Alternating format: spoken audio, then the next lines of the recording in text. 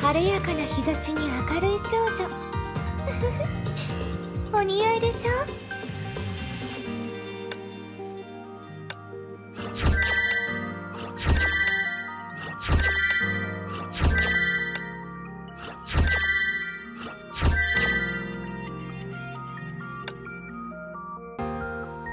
こんばんは。こんな素敵な夜を誰と過ごしたいの？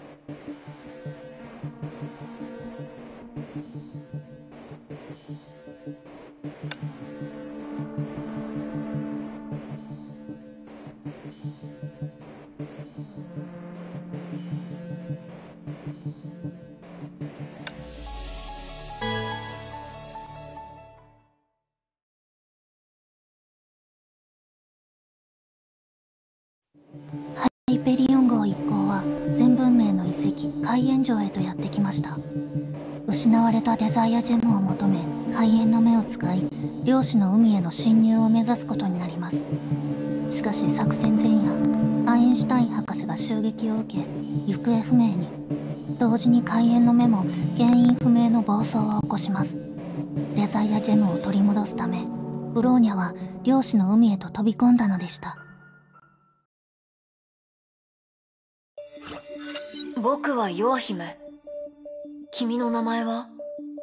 ブローニャと言います大きいワームホールから入ってきたのを見たけど、君は外から来た人間なの？心配しないで。君が漁師の海にいた時間はそんなに長くないから。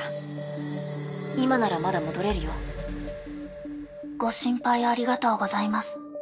ですが、ブローニャはまだ戻れません。ブローニャは、あるものを探しています。それが漁師の海の奥にあるのです。君、漁師の海の奥に行きたいの？あそこは危ないから近づいちゃダメだよ。漁師の海の危険性は承知していますが、ブローニャは、どうしても行かなければなりません。ここは、現実と可能性の狭間。認識と存在の空間。漁師の海への入り口だ。他の人が迷い込まないように、僕はずっと、この巨大迷宮を見守ってきた。やっぱり諦めた方がいい。漁師の海に入るには、資格が必要だから。無条件射殺許可、ファイヤ、ファイヤ準備完了。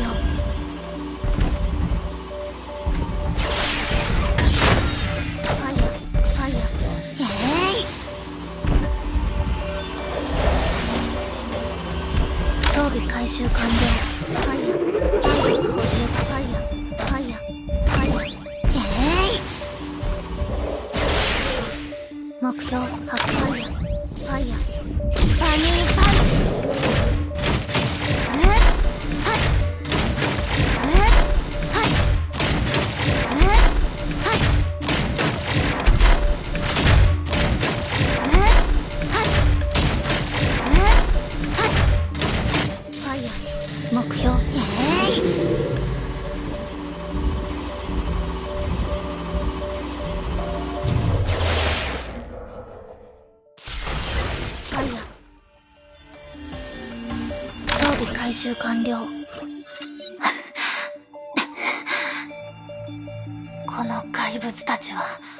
あなたが召喚したのですか？それらは、漁師の海から生まれた影。認識の投射。君の記憶が生んだ怪物だよ。この空間にいる限り、君は自分の心の奥にあるものを見続けるんだ。僕の意志とは関係なく、君が漁師の海に近づくほど、影は活発になる。武器がそれらに与えられるダメージは限られている。でも、君には、それらと対抗できる力があるみたいだ。重曹ウサギのことですか？重曹ウサギ。かわいい名前だね。その力も漁師の海から来ているけど、君はまだそれを全て理解していない。でもそれは、今する話じゃないんだ。漁師の影は、ブローニャを脅かすことはできません。これなら、ブローニャにも漁師の海に入る資格がありますが。君は特別だね。君の過去は他のものとは違う。それが君に年齢にそぐわない強い意志を与えてくれているようだ。強い人ほど心に穴ができやすいけどね。ブローニャ、君が受ける試練はまだ始まったばかりだよ。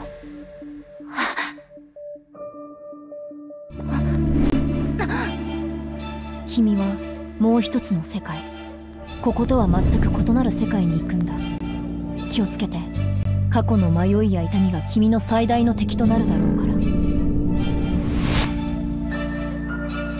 その世界で君の答えを聞かせて。執行命令なし。敵のエネルギー消失。任務完了と判断しました。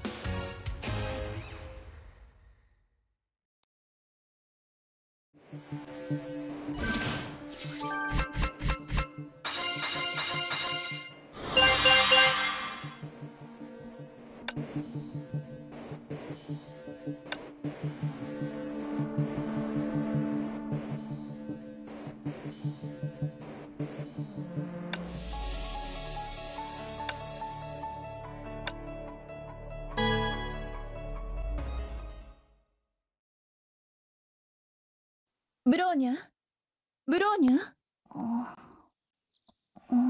ブローニャ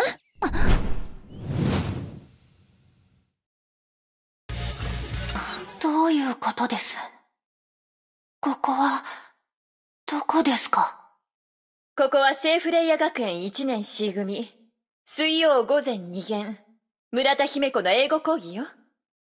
ブローニャあなたみたいな優等生でも授業で居眠りするとはね。期末テストが近いからみんなが頑張っているのは知っているけど、ちゃんと休むことも大事よ。万が一、試験中に眠ってしまったら、私みたいに優しく起こしてくれる試験官なんていないからね。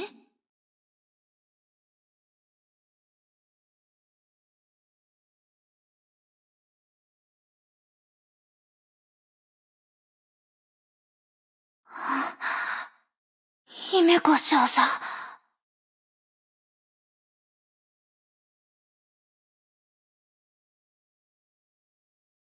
ブローニャ？そう重く捉えなくていいわよ。でも、次は気をつけなさいね。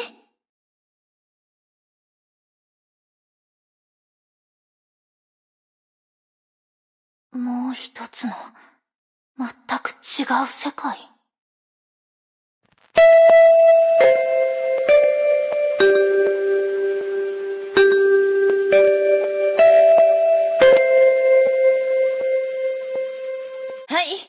今日の授業はここまで。次は実践訓練よ。みんな、中庭に集合ね。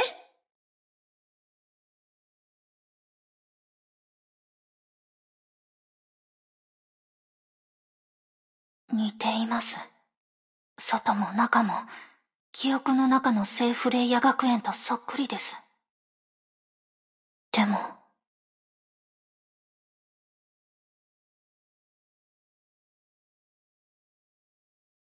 姫子先生、皆さん揃いました。今日は自由訓練よ。三人で一組。揃ったらウォーミングアップを始めて。もうすぐテストだから、怪我しないように気をつけること。違います。ここは現実じゃありません。何が起こっているのか、急いで調べないと。ブローニャさん、どうしましたか？委員長。よろしければ私と組みませんか？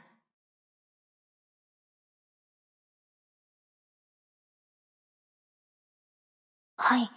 問題ありません。私も入らせてもらうわ。姫子先生。私一人で、あなたたち二人の相手をするわ。うん。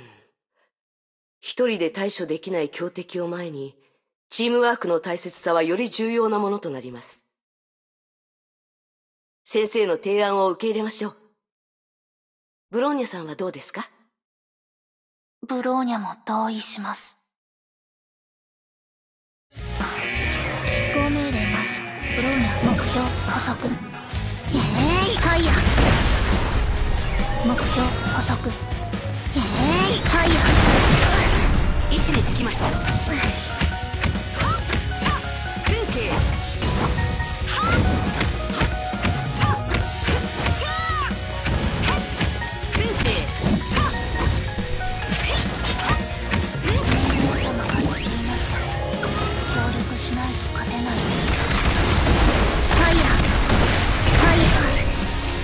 置につきました。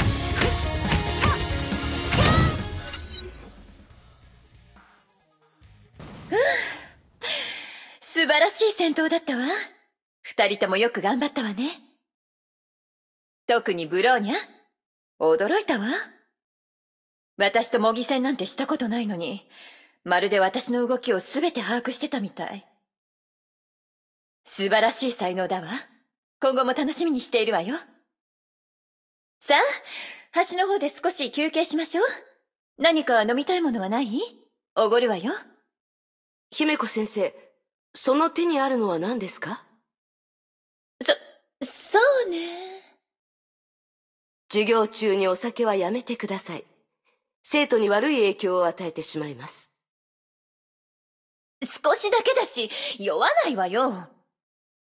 ダメです。あと数分で休み時間だし、構わないでしょ？ダメです。それに、午後にも講義がありますから、昼休み中の飲酒も禁止です。あの瓶に触れないよう見張っておきますから。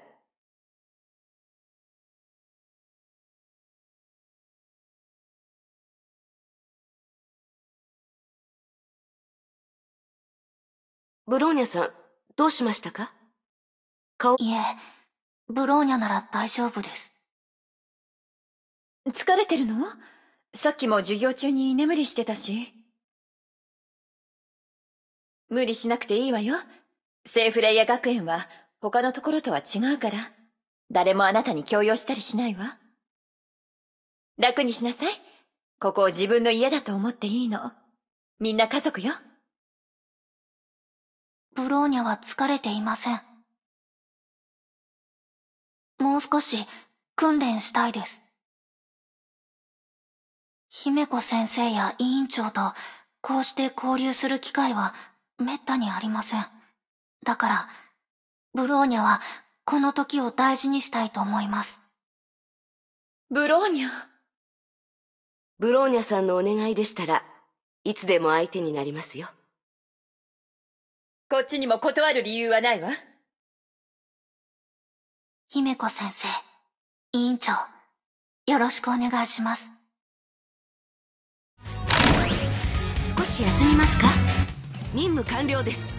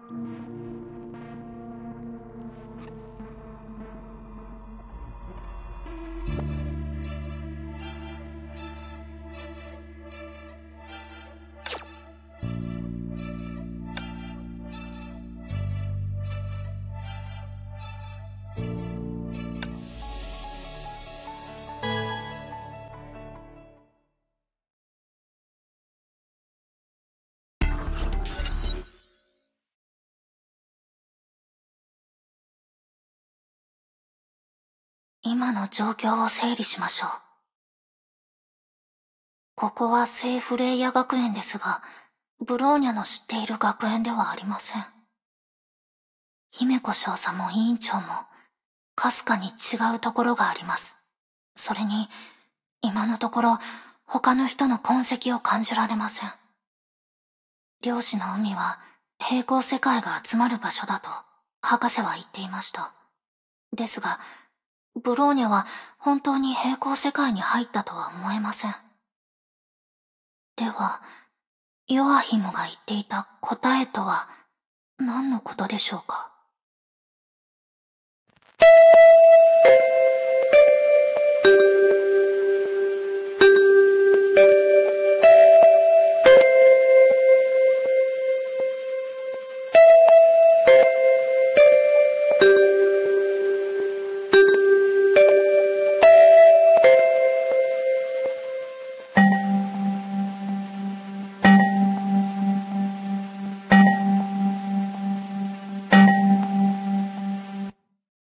情報が足りません。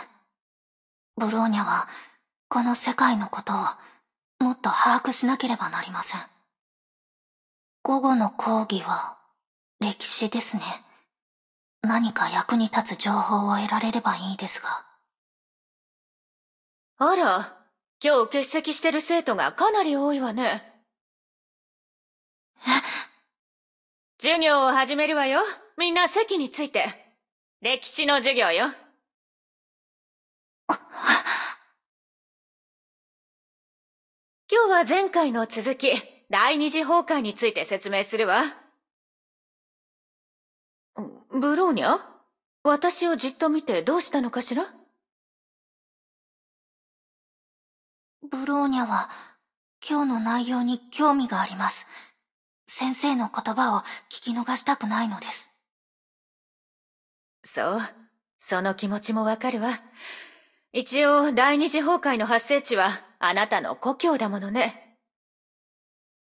ブローニャ、この薬剤についてどれくらい知ってるかしら？第二次崩壊は、人類史上最大の災難です。はじめはシベリアのバビロン実験室で、そして徐々に世界レベルに蔓延しました。第二次崩壊で誕生したのは空間を支配する空の律者です。人類に信じられないほどの災いをもたらしました。よろしい。ちゃんと予習をしてきたよね。ただ一つ間違いがあったわ。第二次崩壊がシベリアで発生した後、天命はすぐ行動し、周辺エリアの犠牲を抑えた。律者も誕生した22時間後に消滅しているわ。天命の素早い決断のおかげで、ほとんどの地域がこの災難から逃れられたの。まさか、そんなはずは。では、映像資料を見ながら今日の授業を始めるわよ。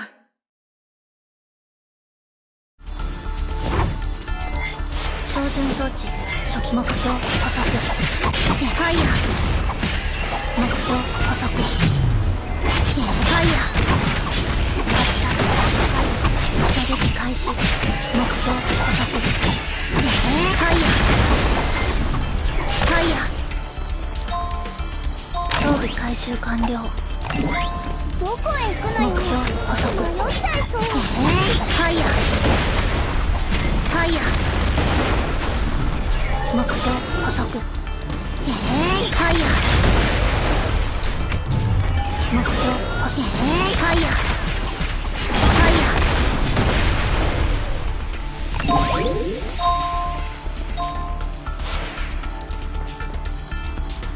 照準装置初期化完了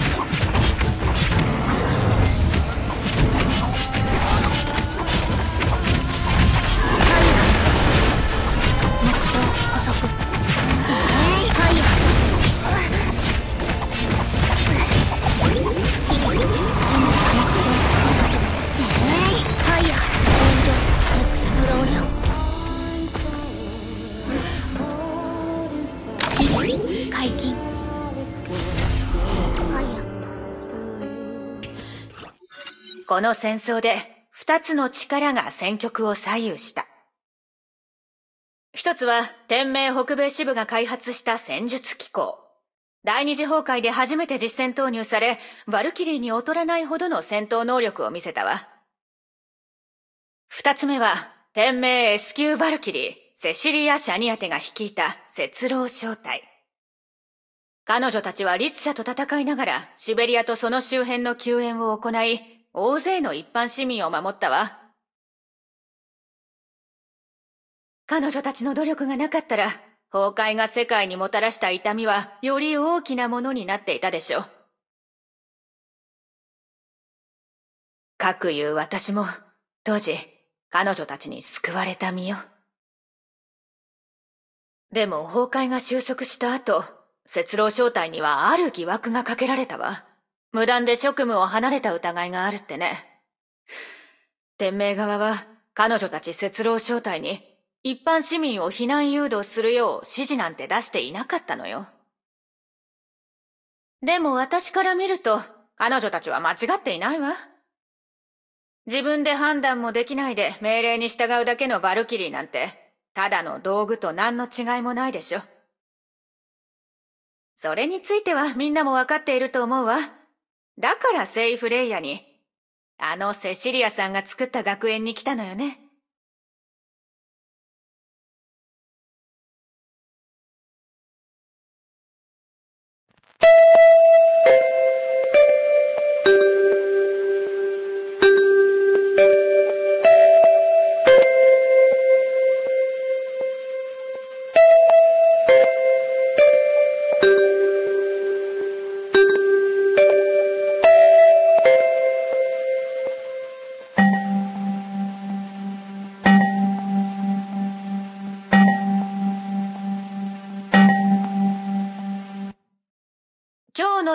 はここまで。もうすぐテストだから、ちゃんと復習もしておくように。ブローニャが知っている歴史と全然違います。カカリアお母様が、バルキリー。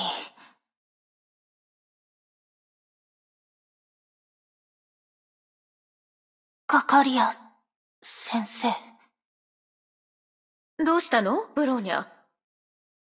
先生は、どうしてバルキリーになったのですか？私の言葉に興味を持ったのかしら？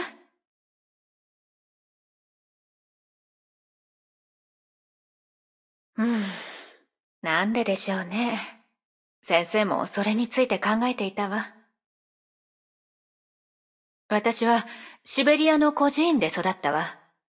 幼い私にとって、ただ生きることが全てだった。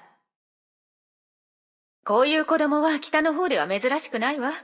私と同じような孤児を何人も見たことがある。何かしてあげたいと思った。例えば、軍に入って子供を保護したり、暖かい家になる孤児院を作ったり。でも先生は、バルキリーになりました。気づいたの。どんな道を歩いても子供たちを食べさせることができる。でも、バルキリーだけが、聖フレイヤ学園のバルキリーだけが与えられるものがあるって。それは、何ですか？希望と自由よ。これは私があの災いでセシリア学園長から学んだ宝物よ。カカリア先生は、ブローニャの知り合いにとても似ています。似ていますが、違います。ブローニャ、ここに来る前に嫌なことを経験してきたと聞いたわ。でも、過去にどんなことがあっても、それはもう過ぎたことよ。ここは聖フレイヤ学園。昔のように誰かの命令に従って暮らす必要はないわ。この学園で思い切り冒険して、友達を作って、自分の未来を想像していいのよ。やりたいことを心のままにやるといいわ。あなたは自由なんだから。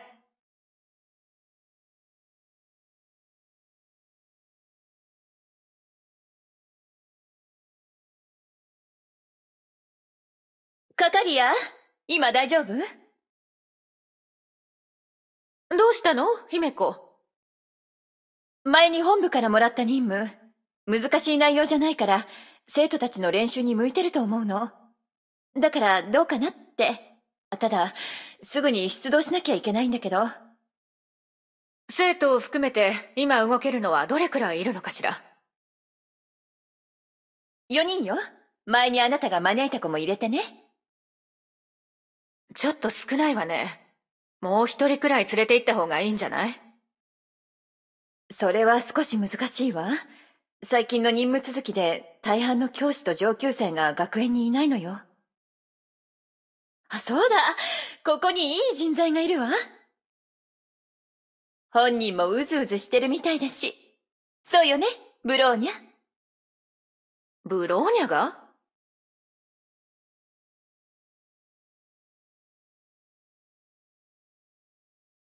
ブローニャは皆さんと一緒に任務を遂行する自信があります。人手が必要でしたら、ブローニャを先生の招待に入れてくれませんか？もちろんいいわ、ブローニャ。極東支部第五招待へようこそ。突然で申し訳ないけど、今夜すぐ出発しないといけないの。後で資料を渡すから準備しておいてちょうだい。ブローニャは万全の準備を整えておきます。ご安心ください。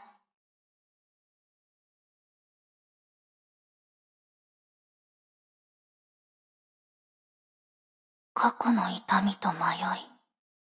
ブローニャにとって、その言葉は、ある人のことを思い出させます。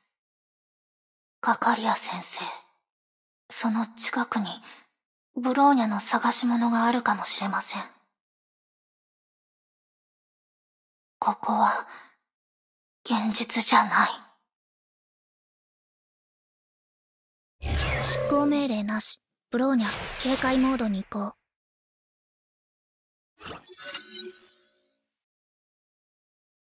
ブローニャ、他のメンバーを紹介させてもらうわ。まずは姫子先生。それからフカ、あなたのクラスの委員長ね。カカリア先生がおっしゃっていた新メンバーは、ブローニャさんのことでしたか？安心しました。あともう一人、あら？まだ来てないの？ごめんなさい遅くなりましたこの声。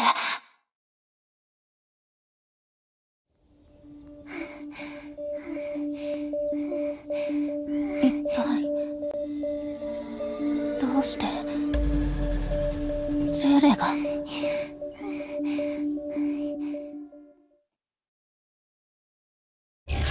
執行命令なし。ブローニャ。任務完了待機モードに移行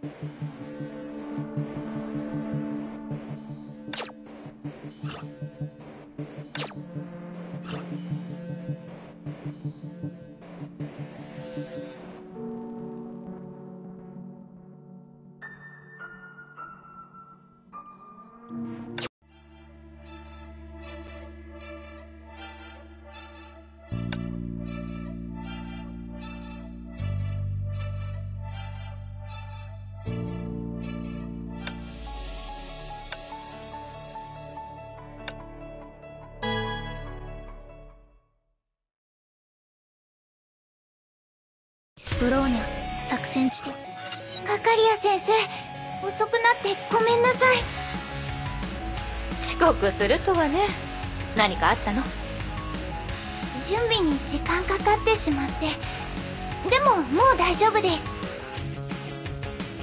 ならいいわ。紹介するわね。この子が今日入ってきたブローニャよ。年はあなたより少し上ね。ブローニャ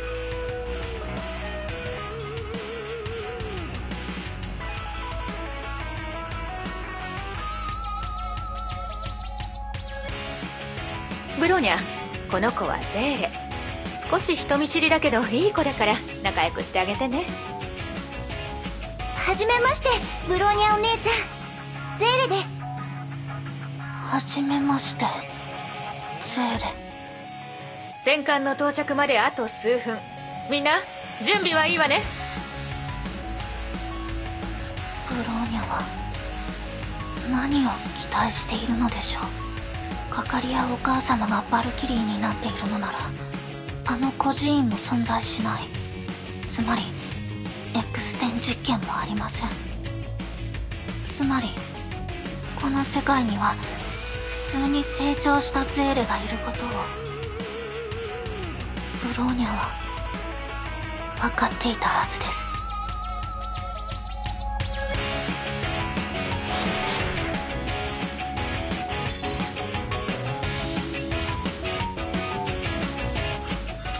目的地に着きました。任務を確認しましょう。3日前に本部の輸送部隊が襲撃を受けました。死傷者はいませんでしたが重要物資が奪われています。この襲撃はネゲントロピーという地下組織と関係している可能性があるとのことです。ネゲントロピーって天命を裏切った人物が作った反天命組織よね。その行動は慎重なものでしたがここでボロが出ました。情報によると奪われた物資がこの近くで目撃され銀狐という情報屋の手の中にあるようです。銀狐？ネゲントロピーの一員かしら？いいえ銀狐はこの土地の顔役。地下組織の一員にしては目立ちすぎる人物よ。だから違うと思うわおそらく協力関係なんだと思います。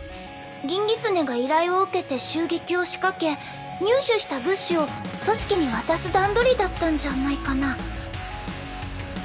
それならその人物に会う必要がありそうね。姫子とフカは私と共に銀狐のもとへ行きましょう。その間ブローニャとゼーレはこの周辺の地形を調査して物資の隠せそうな場所を割り出してちょうだい。なるべく気づかれないようにすること。こっちが片付いたら合流するわ。わかりました。ブローニャお姉ちゃん。何かいい方法はないかな。銀狐の拠点の周りに見回り中の機構がたくさんいます。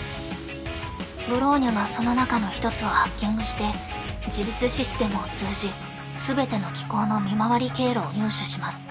そこから隠し場所を割り出しましょううんいいと思う。じゃあまずはどの機構を標的にするか決めないとだね。えっと北側の広場はどうかな？あそこの見回りは比較的緩そうだから一人ぼっちになった機構を見つけやすいと思うよ。はい行きましょう。プローニャの知っているゼーレより独立していて大人っぽい。もしゼーレがあの実験で生き残ることができていたらこんな風になっていたのでしょうか？ゼーレ。無条件射殺許可確認。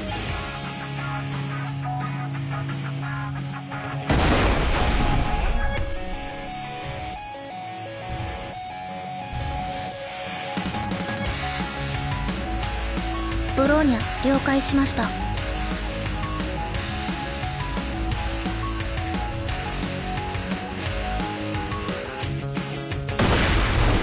目標発見。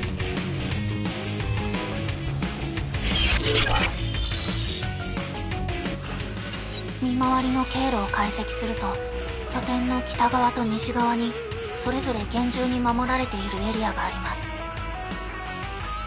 西側は市の中心地。夜中になると人の流れが激減します。リスクはありますがいい隠し場所になるはずです。北側は銀狐の勢力範囲内で本人の主要活動エリアでもあるため守りが厳重なのも頷けます。時間がありません。手分けして確認しましょう。おう。この2つじゃないよ。銀狐が物資を隠した場所はここだと思う。ここですか。ここはただの倉庫で守りも手薄です。どうしてここだと思うのですか？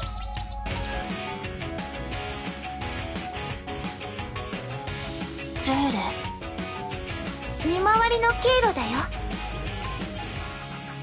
気候の数は多くないけどここは24時間監視がされるように巡回経路が組まれてるの。それで変かなって。なるほど。まるでそうなるよう手配されているようです。確かに違和感があります。それに気づいたということはゼーレはこの地域に詳しいのですか？ううん任務資料で見ただけだよ。ブローニャは任務資料でこんな内容を見た記憶がありません。この違和感は何でしょうか？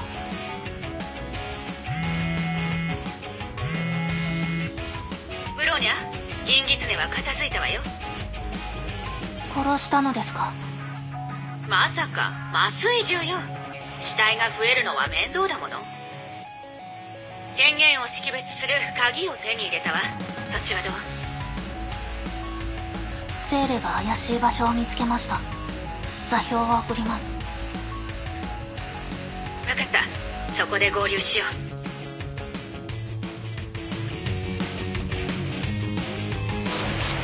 照準装置初期化完了。目標補足ファイヤー。目標補足ファイヤー。ファイヤ射撃開始目標補足えー、ファイヤ準備完了ファイヤー。ファイヤー。ファイヤー。ファイヤー。ファイヤー。無双モー。ド全開ボイドエクスプロー。ジョン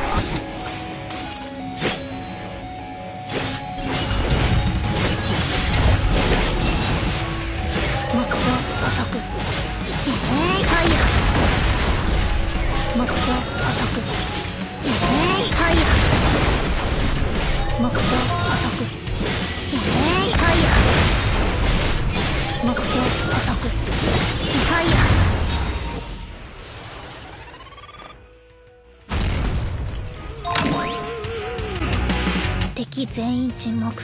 これより帰還。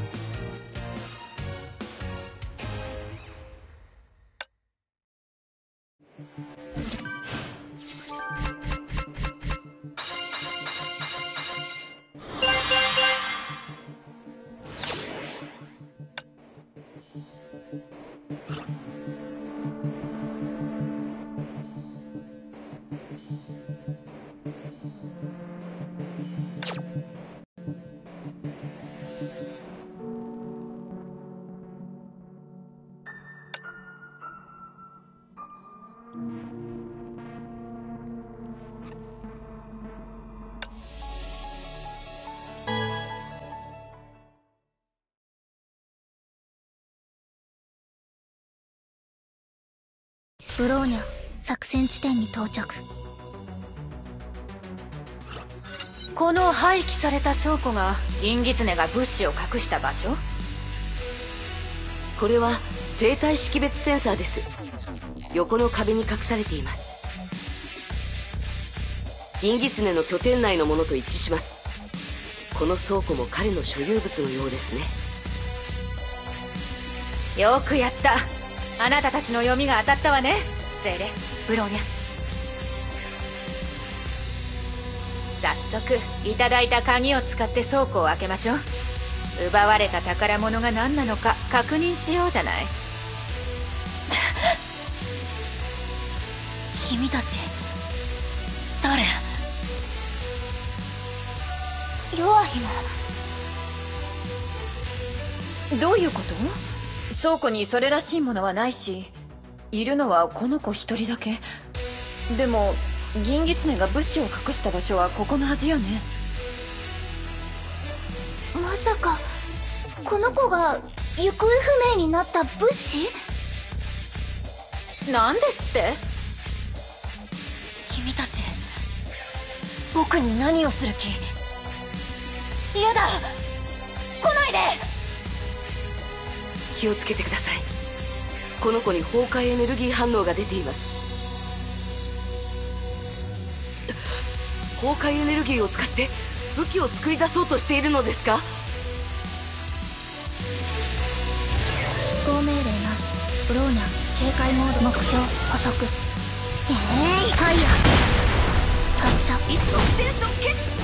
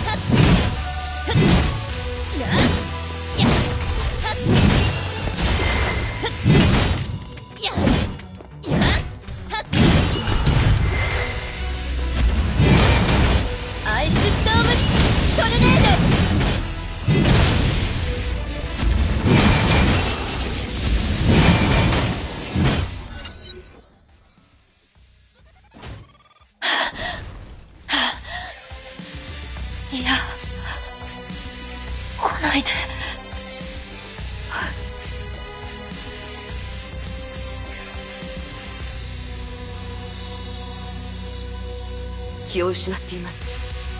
どうやらあの変わった力が彼の体力を大量に消耗させたようです。この子の体傷跡がたくさんあります。かなり古い傷もあるようです。ずっと虐待を受けていたのでしょう。気候が急に現れてそしてすぐに消えてしまう。この力どこかで。そう本部のファイルで見たことがあるわ。崩壊エネルギーを使って物事の構造を再現し実体化する能力。それは第一律者断りの律者の力よ。しかし第一律者は1955年に消滅したはずです。どうしてその力をこの男の子が？予想外の状況だがまず本部に連絡した方がいいかしら？いえ待ってください。最初はブローニャも変に思いましたがさっきのゼーレの言葉は確信をついていると思います。断りの律者の力を持つ男の子。天命にとってその価値は言うまでもありません。この子が重要物資だと言われても納得ができます。つまりそれは？私もそう思うわ。この子が行方不明になった物資で私たちが回収すべき標的。本来なら実験管に閉じ込められているはずだったけど銀狐が逃がしたのね。つまりその子の体にあった傷は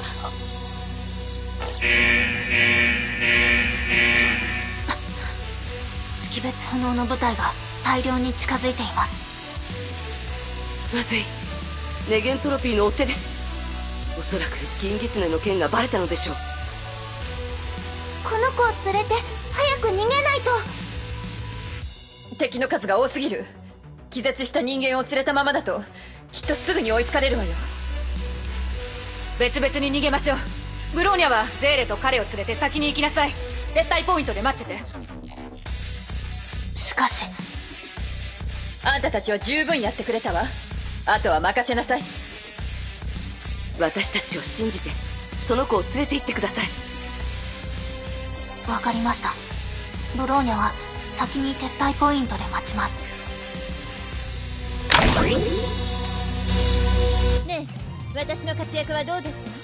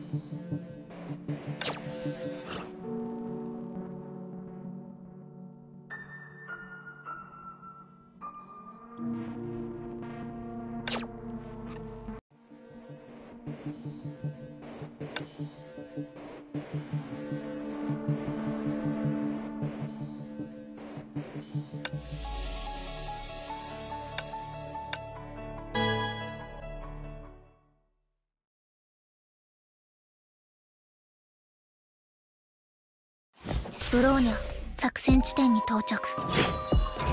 目標捕捉ファイヤー。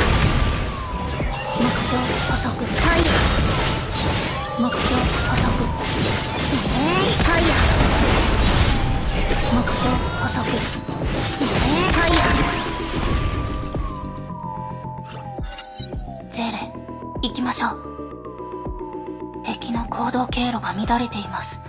先生と委員長がおとりになってくれたようです。あとは撤退ポイントで合流してヨアヒムを移送すれば。ブローニャお姉ちゃん。どうしました？ゼーレ。撤退ポイントには行けない。どうしてですか？この子をどこか別のところに連れて行かないと。他の人に渡しちゃダメ。そう言われてもどこに連れて行けばいいのですか？まだわからない。でもゼーレを信じてほしいの。ゼーレ？どうしたのですか？少し様子が変ですが。ダメブローニャお姉ちゃん。その子をゼーレに。このこのままじゃまた最初から繰り返しに。ゼーレ？彼を私に渡して。無条件射殺許可確認目標捕捉えー、ファイヤーファイヤー目標捕捉目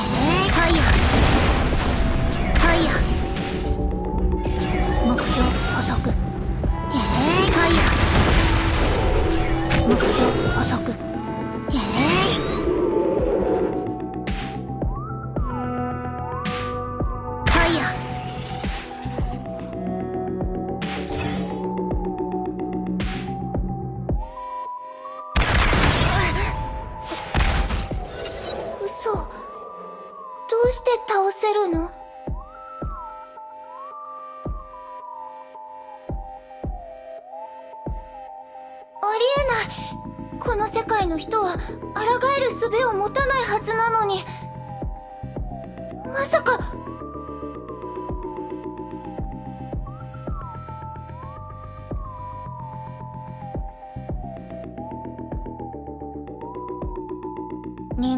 8時からブローニャはある違和感を覚えていました。窮地に陥るたびにあなたはこれから起こることを予見していたかのように動いていたのです。そしてあなたが漁師の影を呼び出した時ブローニャは確信しました。ゼーレあなたはブローニャと同じこの世界のものではありませんね。ブローニャお姉ちゃん。あ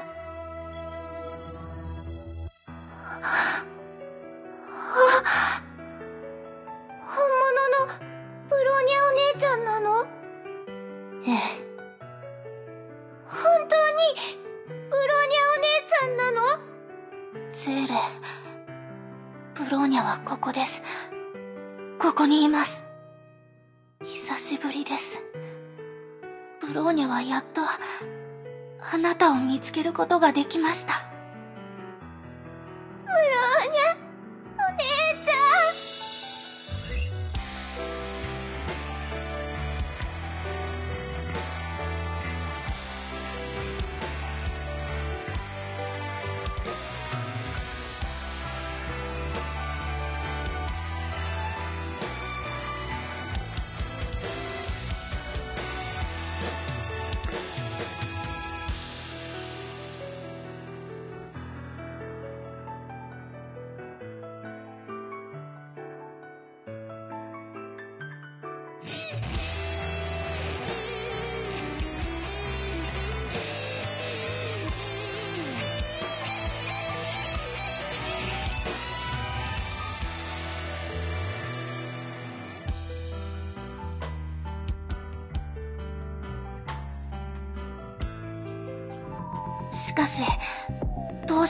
ここにゼーレがいるのですか？一体何が？セーレにもわからない。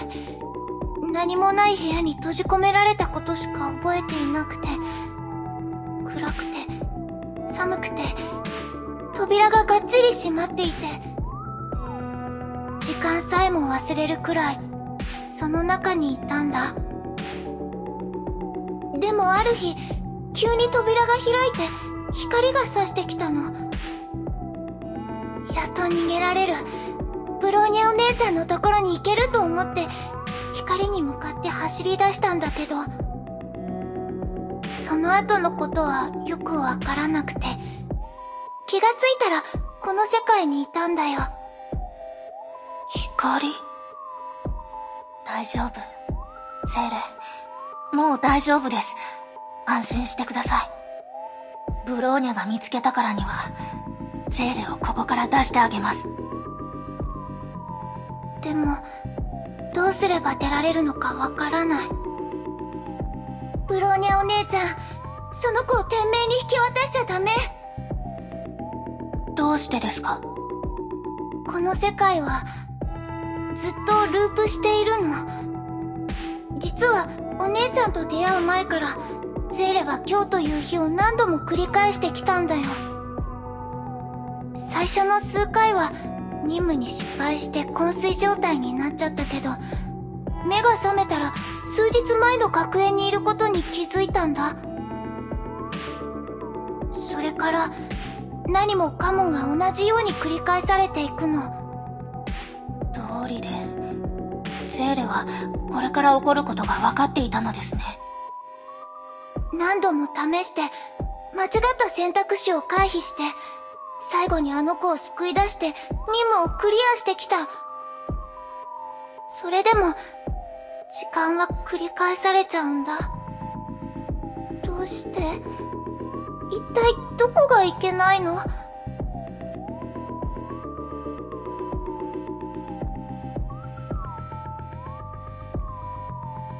え？怖がらないでください、ゼーレ。今の言葉で、ブローニャは何が起きているのかを理解しました。どうすればいいかは、分かっています。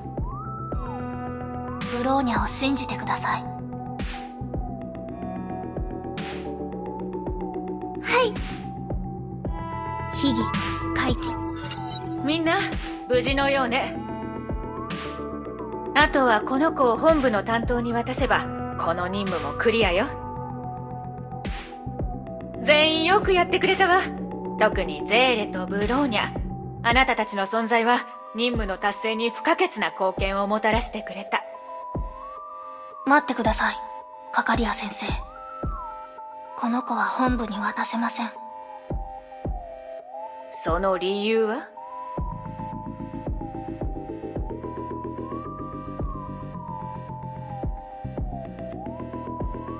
感電跡、やけど、手術の痕跡。これは、天命の実験室で非人道的な扱いを受けた証拠です。彼をそこに戻すことは、彼を地獄に送ることと同じです。ブローニャさん確かにその通りですが送らなければどんな結果になるかも考えなければなりません彼には律者の力があります彼自身もコントロールできないほどの力です。彼が人間に危害を加える律者ではなく普通の人間と同じように成長するなど誰も保証ができません。しかし彼を実験室に戻せば彼は律者にしかなり得ません。ブローニャとゼーレは彼を聖フレイヤ学園に連れて行くことを希望します。彼は律者になるかもしれません。または英雄になるかもしれません。しかしどんな運命であれ彼自身が決めるべきです。ブローニャたちにできることは考えることを彼に教えることです。希望は何なのか未来は何なのかそれを考えることです。これは人間としてあるべき自由です。これも今まで聖フレイヤ学園がブローニャに教えてきたものです。よく言った。私もそう思っているわ。あれ？時間が進んでる？カカリアもひどいわね。わざと試すような真似してまさか最初から彼を学園に連れて行くつもりで？もちろんよ。私たちは聖フレイヤのバルキリーだもの。さあ彼をこちらへ。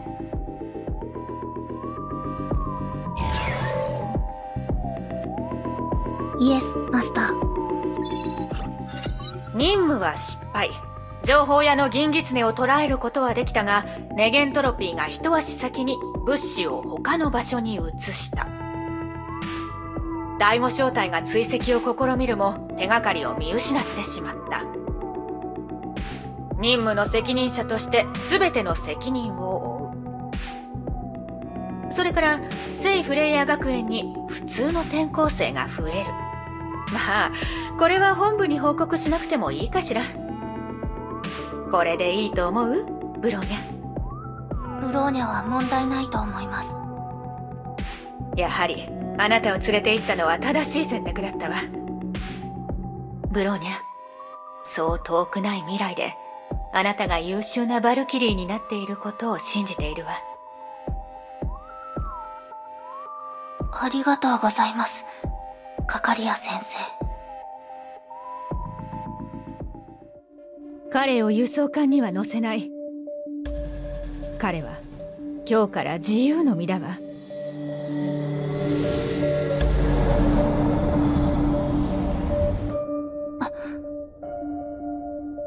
ブローニャたちは戻ってきたのですか？執行命令なし。ブロ任務完了。待機モードに移行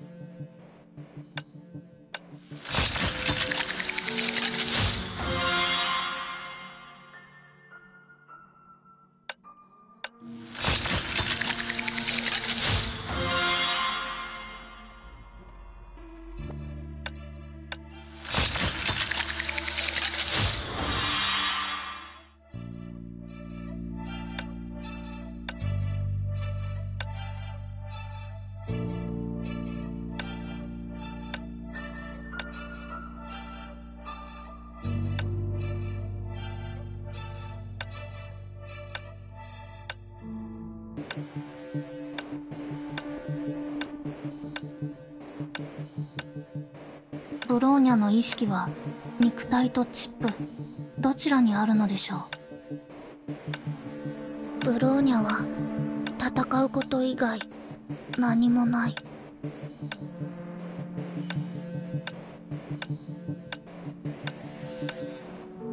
バルキリー姫子いつでも出られるわよ。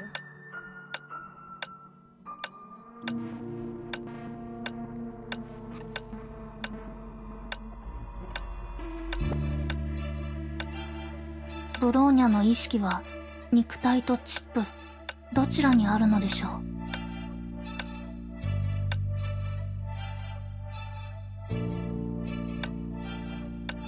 出撃準備。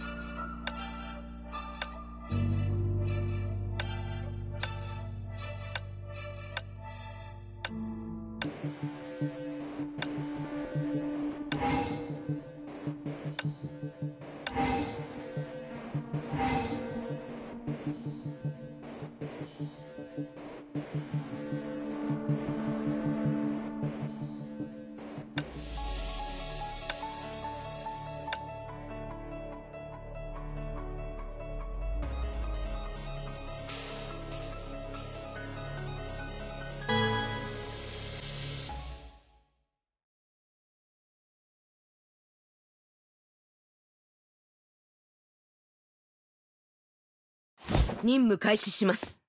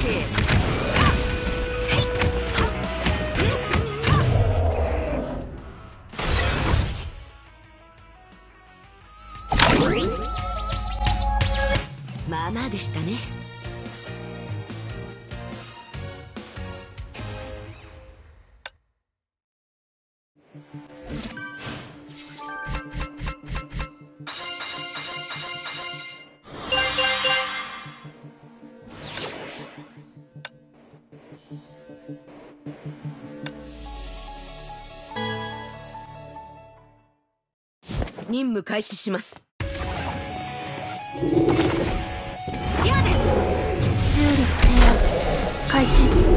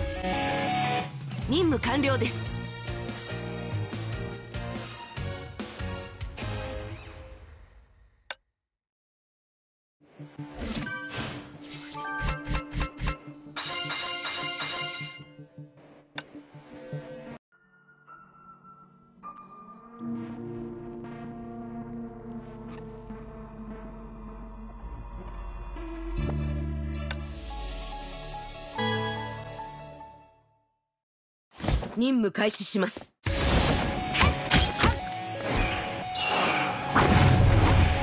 力制圧開始。様が言っていました協力しないと勝てない。モード全開。位置につきました。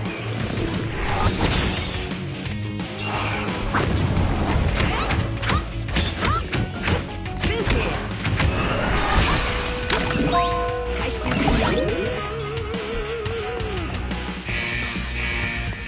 戦即決です。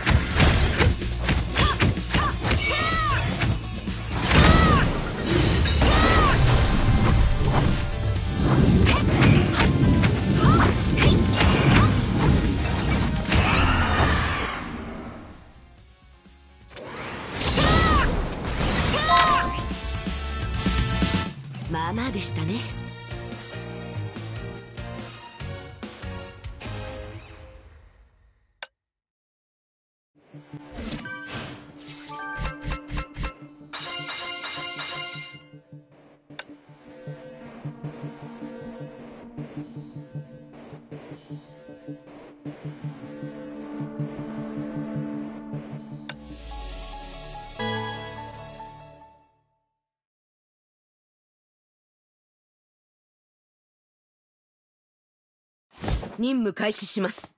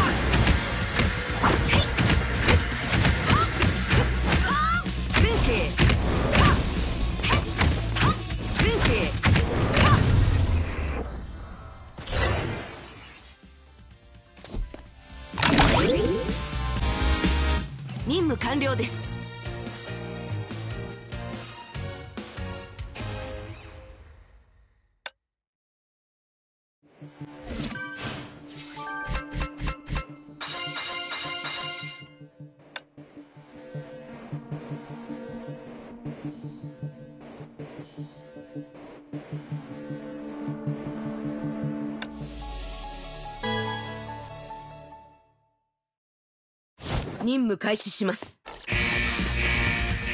少し厄介ですね。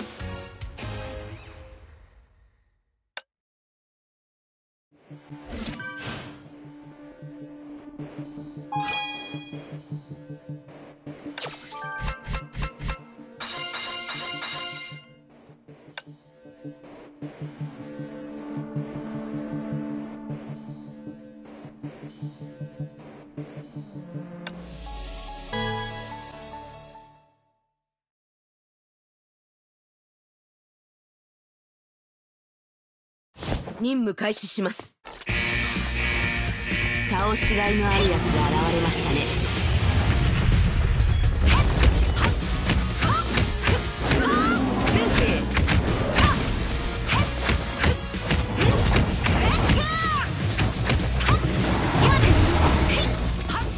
ゲームオーバーです。射撃開始。目標あえー。ファイヤー。目標捕捉えーファイヤー S 級戦術。重力制圧。開始。はい。イヤーイ。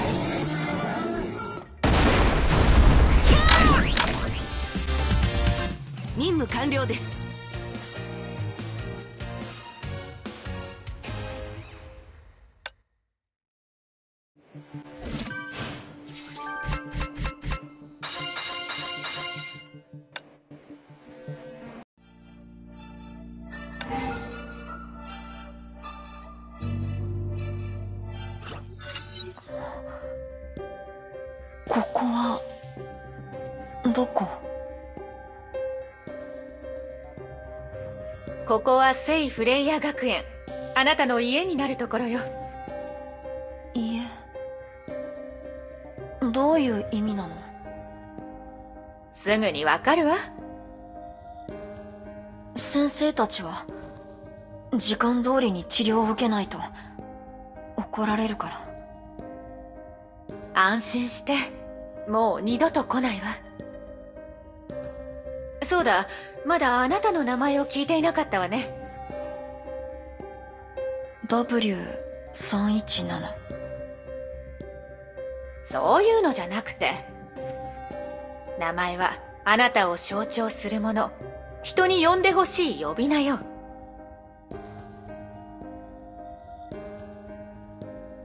僕もみんなみたいに名前を持っていいの？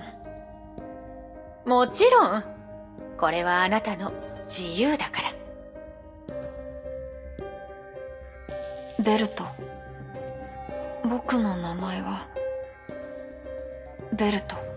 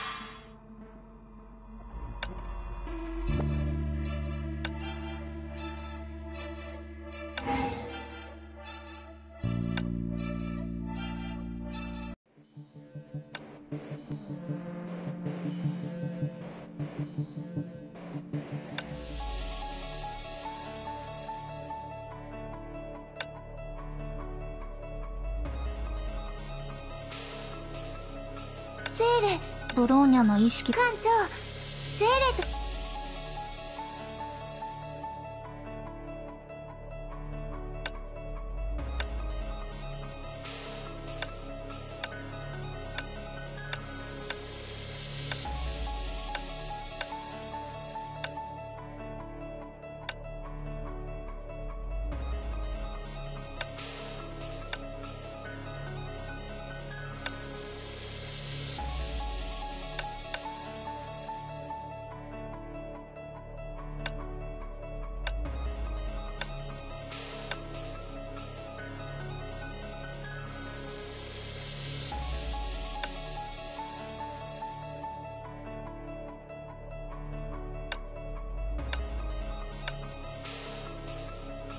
安心して私に任せてください。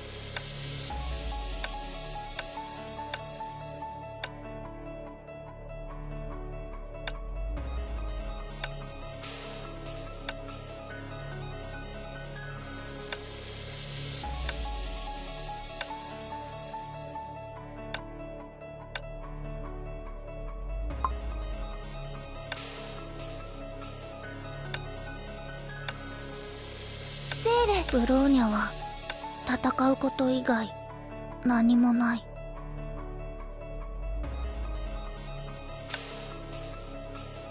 ワルキューレシステム起動。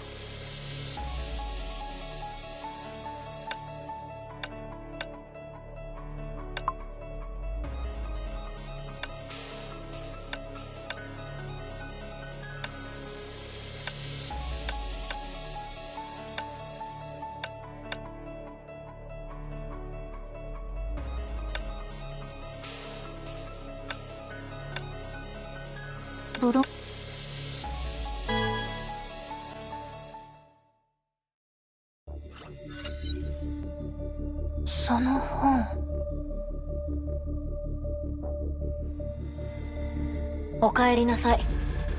一つ目の世界を解いたんだね。僕の正体はもう分かったと思うけど改めて自己紹介するよ。僕は第一律者ベルト・ヨーの分身。彼が残した一枚のかけらであり彼の命令でここを守っている。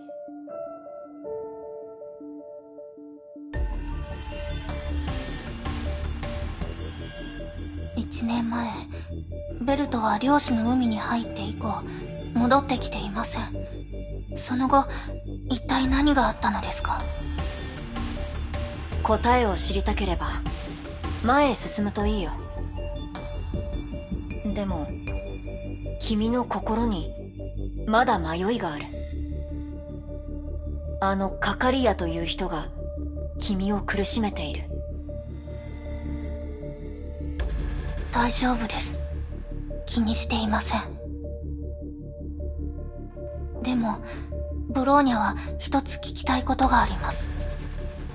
あのゼーレっていう女の子のこと？彼女のことは知らない。その痕跡を補足することもできない。彼女の本体が漁師の海に漂っていて偶然この迷宮と重なっただけかもしれない。彼女は特殊な力を持っていてそれで漁師の海を行き来することができるようだね。でもまだその力を自由に使うことができていない。これから訪れる世界でまた彼女に会えるかもしれない。でも本当の彼女を見つけたいのなら漁師の海に入らなければいけないだろう。あの本は君と彼女をつなぐ中退。君の進むべき方向へと導くよ。わかりました。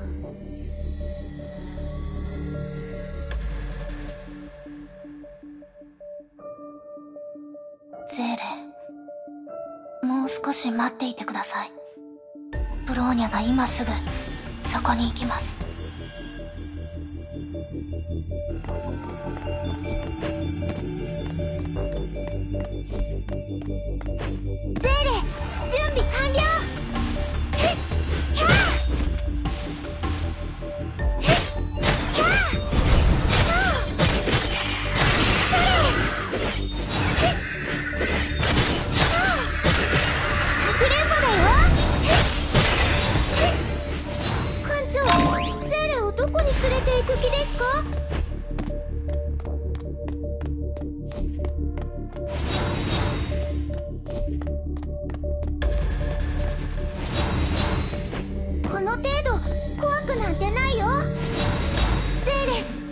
しました。へっ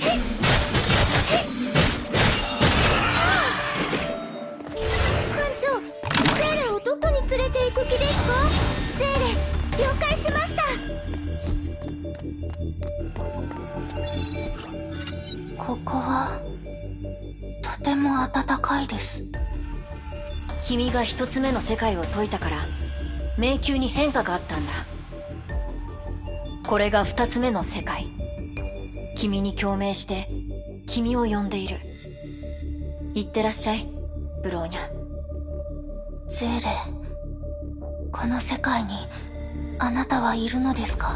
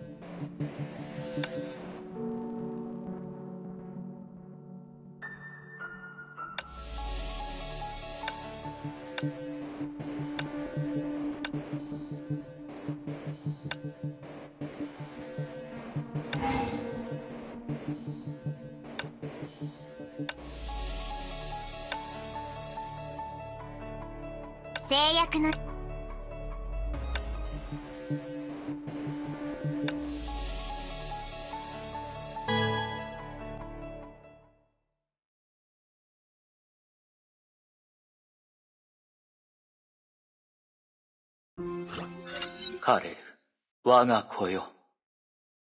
ミハイルのことをよろしく。お菓子を半分こにしてあげて。タニアのことも、あの子はまだ歩けないから。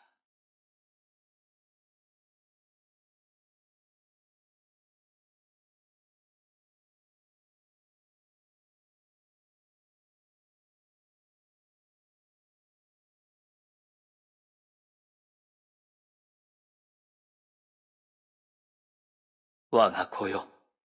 先に行き、主のために荒れ野の道を備えよ。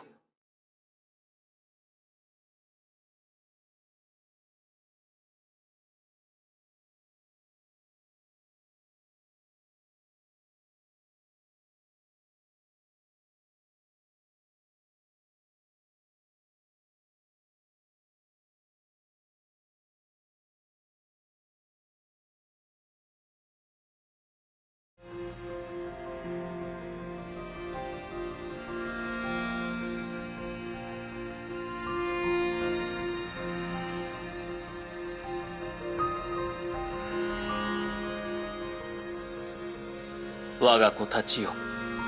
なぜ先に行く人がいるのかと僕に尋ねるのなら、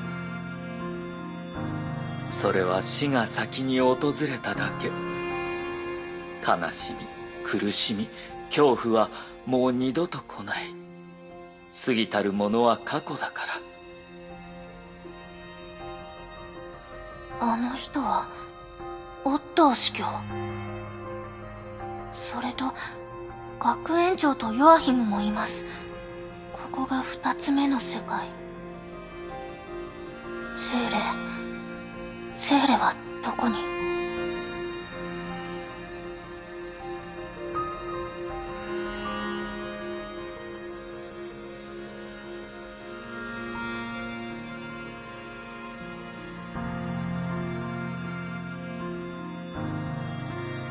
子供たち、戻ろうか。なんだい？まだ言いたいことがあるのかい？カレルあなたのお気に入りの車のおもちゃを持ってきたわ。色が剥げたところをヨアヒムとクレヨンで色付けしたの。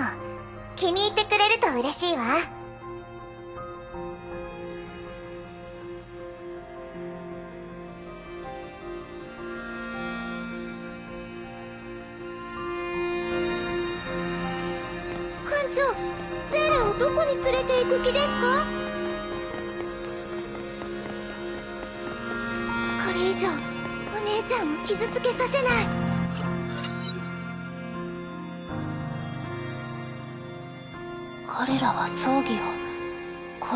葬式を行っています。花も写真もない。あるのは、大人と子供たちが別れを告げる時間だけです。変わった風景ですが、馴染みのないものではありません。ここは孤児院だよこの子たちは私たちと同じずっと孤児院にいるのブローニャお姉ちゃん見て。あそこに木でできた小屋があるでしょ？多分彼らの家だよ。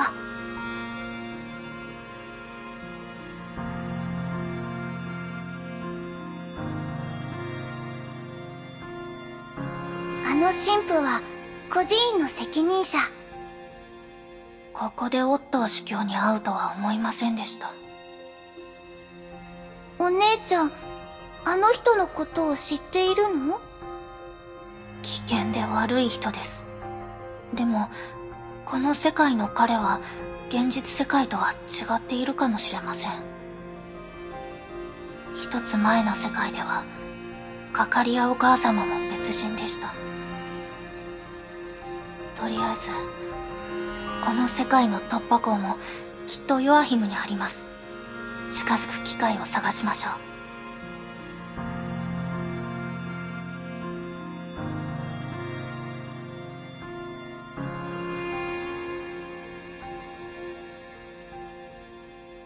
みんなお腹すいたよね。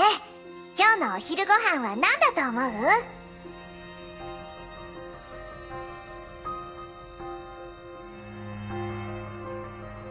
人参ポタージュかな？違うわ。ポタージュは火曜に食べたばかりよゼーレ今日は水曜日。ポテトとビーフの煮込みよ。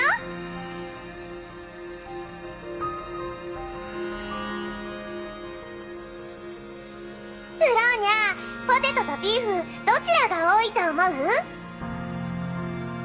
ポテトですか？ブブー罰ゲームとしてビーフ多めにするわ。たくさん食べて大きくなるのよ。テレサ。どうしたの？ヨアヒム元気を出してほしいのはわかるけど無理して僕たちを慰めなくていいんだカレルはいなくなった。みんなには時間が必要なんだ。テレサもね。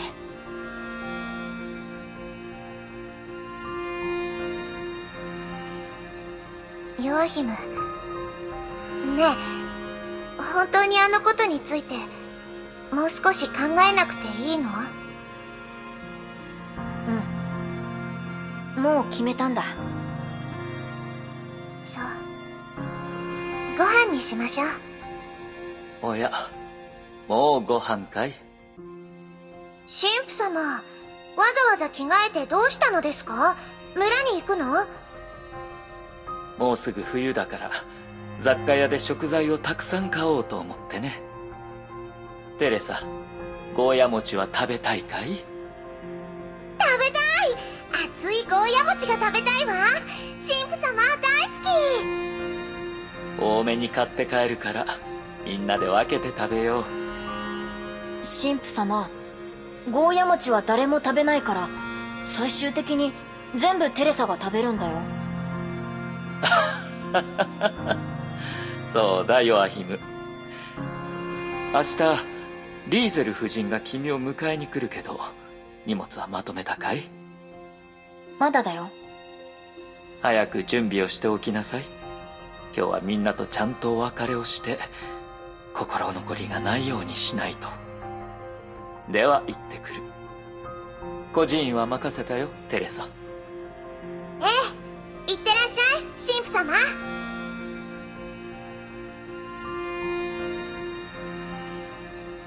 テレサ何か手伝えることはありませんか？そうね洗濯物のカゴが5つも溜まってるわ。それに帳簿の確認もまだね。北側の部屋の天井の穴もまだ修理できてないし。そうだ。薪も足りてないわ。向かいの山の中腹で調達してきてくれないかしら。寒くなる前にたくさん準備しておきたいの。本当は力のある男の子がやるべきことなのに。ごめんね。カレルを失ってヨアヒムももうすぐ孤児院を出るから。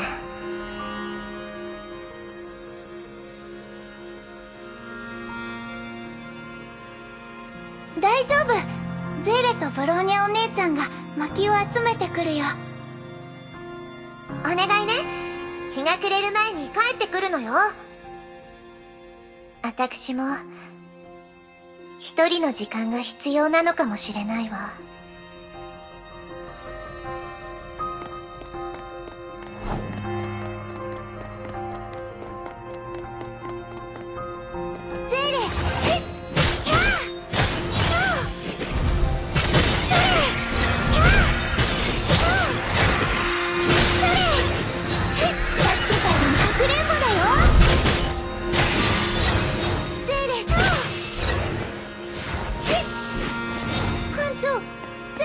こに連れて行く気ですか？この程度。っ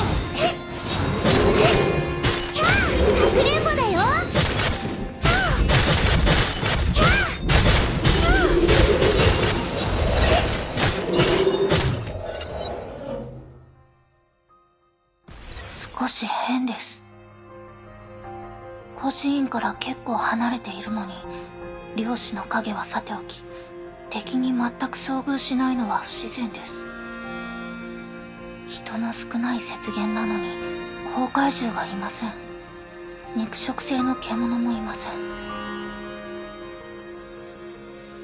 気のせいでしょうか空気中に何かがブローニャお姉ちゃんここにちょうどいい木があるよ薪に使えそうゼーレ無理しないでください。ブローニャがやりましょう。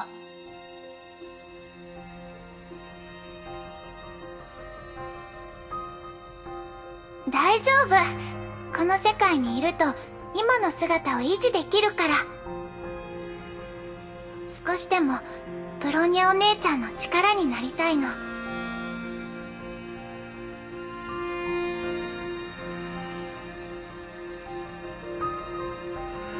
ここでの生活ゼーレたちがいた孤児院と似ているね。あの子たちを見るとまるで昔の自分たちを見ているみたいだよ。毎日苦しいけどみんなで一緒に頑張って小さな幸せを守っていく。みんな家族を失ったけど孤児院でまた新しい家族ができた。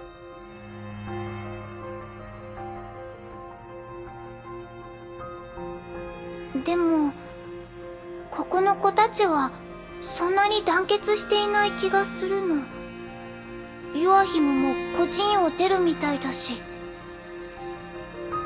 神父の言葉によると彼は養子になるみたいです孤児院にとって養子になる子供がいるのはいいことだけどヨアヒムの反応が少し変な気がするな。何か事情があるのかもしれません。テレサに聞いてみましょう。焚き木はこれで十分なはずです。そろそろ戻りましょう。うん、ブローニャお姉ちゃん。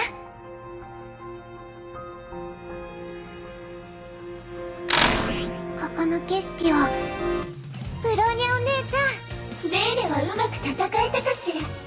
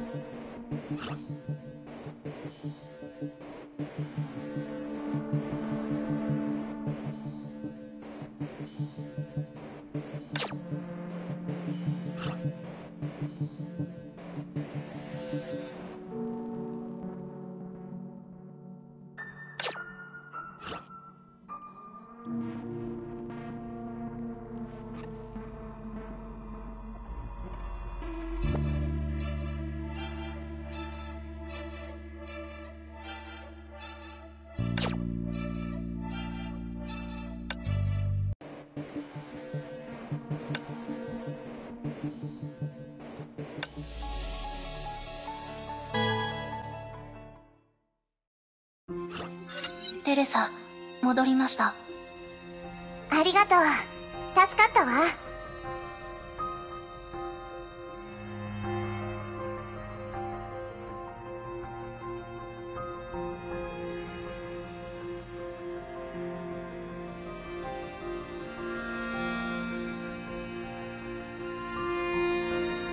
生活は苦しいけれど、神父様とみんながいれば、きっとなんとかなるわ。テレサはいつからここに？両親のことはよく覚えてないの。私の一番古い記憶は、神父様に自分がおんぶされているところ。私をおぶって薪を割っていたわ。外は雪だったけど、神父様の背中は暖かかったのを覚えてる。この孤児院を神父様が作ったことは、大きくなってからやっと理解したの。最初に来た子供じゃないけど、今いる子の中で一番長くいると思うわ。ここが好きだから、離れるつもりもないの。ヨアヒムはどうですか？どうして、急に彼のことを？お昼ご飯の時少し気まずい雰囲気だったので明日彼はここを出るのですよねだから何があったのかブローニャは知っておきたいのです。うん。内緒にしてたわけじゃないんだけど。私とヨアヒムに何かあったのではなく神父様と彼の間に問題があるのよ。神父様とヨアヒムに何があったの？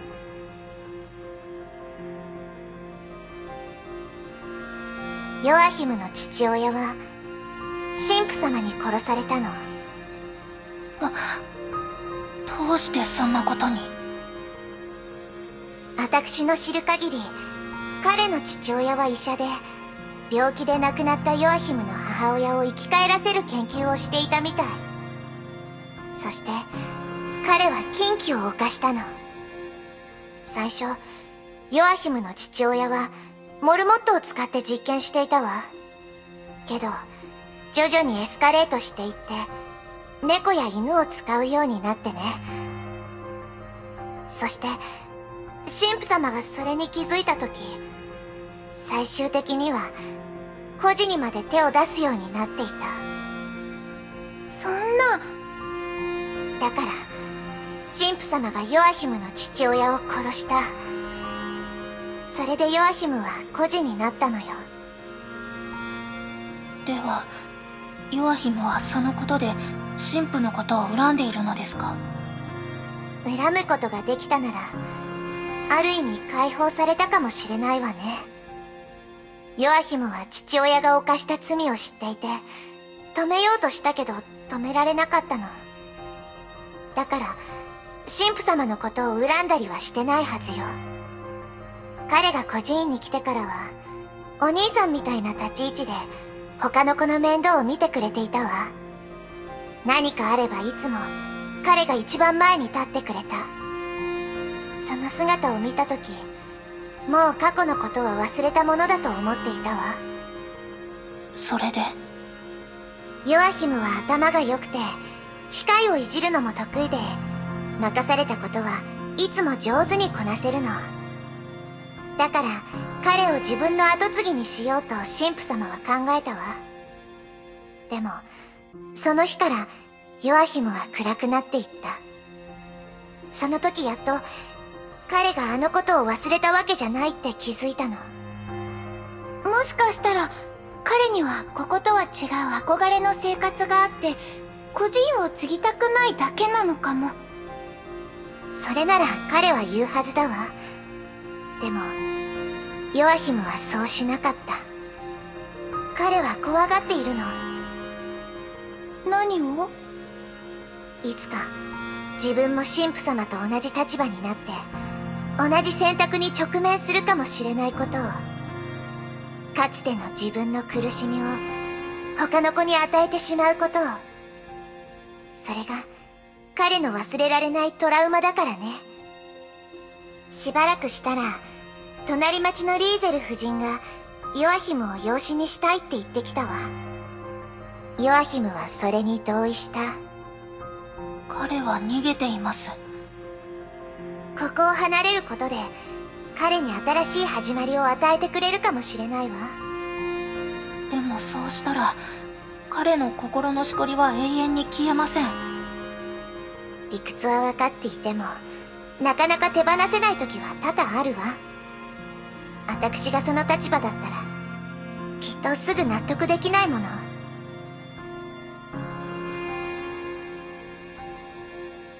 それでもヨアヒムが落ち込む姿は見たくないの。昔の彼はこんな感じじゃなかったから。何かしてあげたい。家族なんだもの。そういえばもうすっかり暗くなったのに神父様がまだ戻ってこないわね。おかしいわ。少し見てくるわね。館長ゼーレをどこに連れて行く気ですか？ゼーレ了解しました。この程度。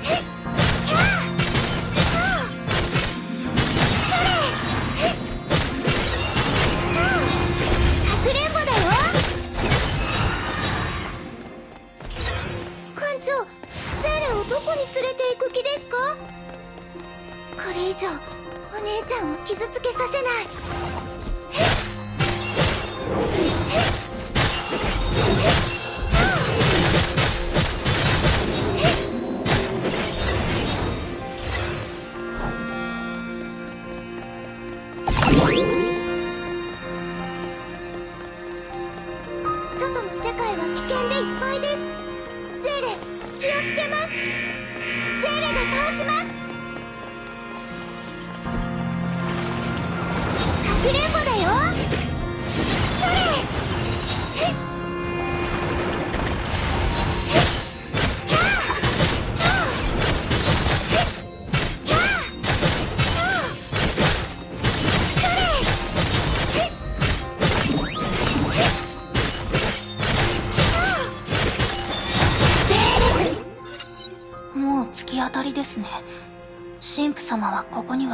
ないようです。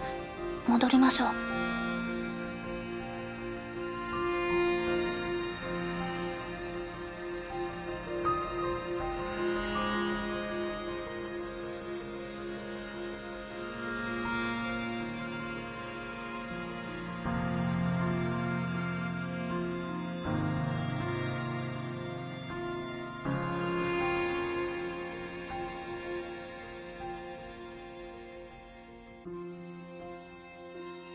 手放せないもの。ブローニャも同じですね。ブローニャお姉ちゃん大丈夫？さっきからずっと考え事してる。ゼーレえっと。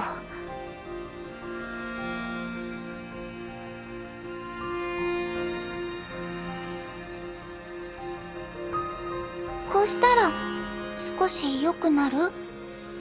昔怖い時ブローニャお姉ちゃんがいつもこんな風に手をつないでくれたんだよ。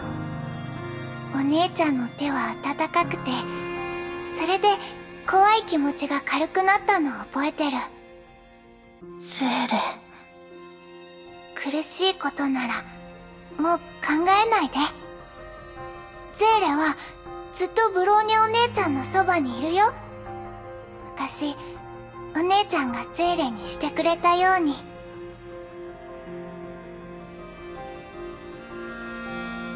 ありがとう。ブローニャはもう大丈夫です。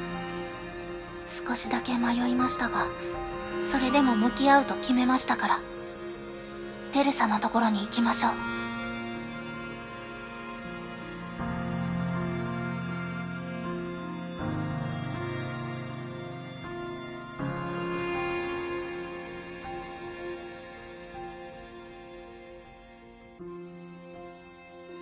くやったわゼーレ。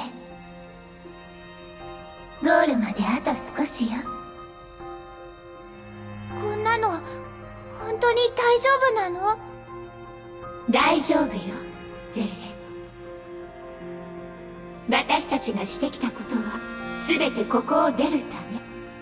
お姉様と一緒に現実に戻るためだから。わかってるよ。ここが別れた場所です。テレサは向こうに行ったはずです。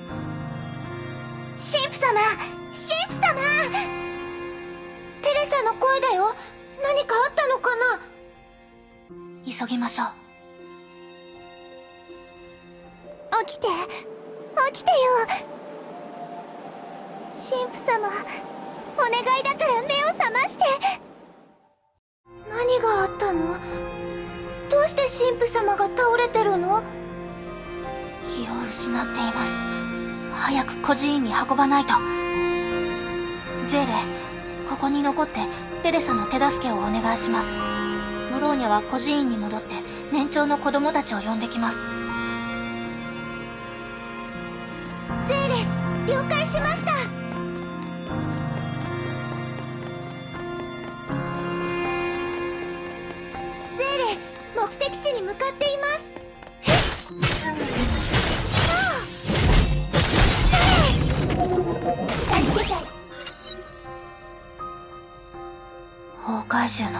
増えています。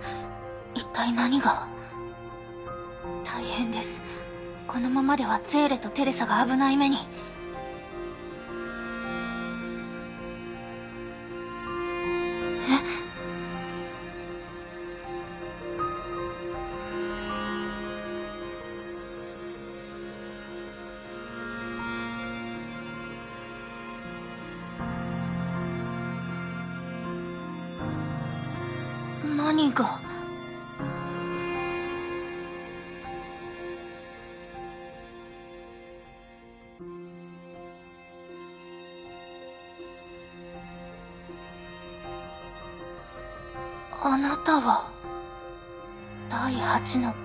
鍵。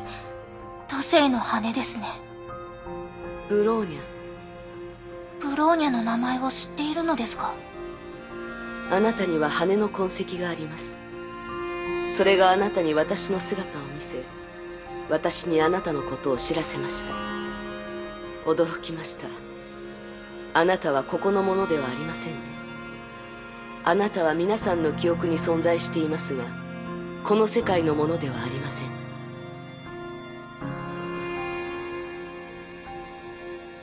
私は都政の羽が残した三千編の羽のうちの一編あの男の守りたいという気持ちに応じてここに参りました。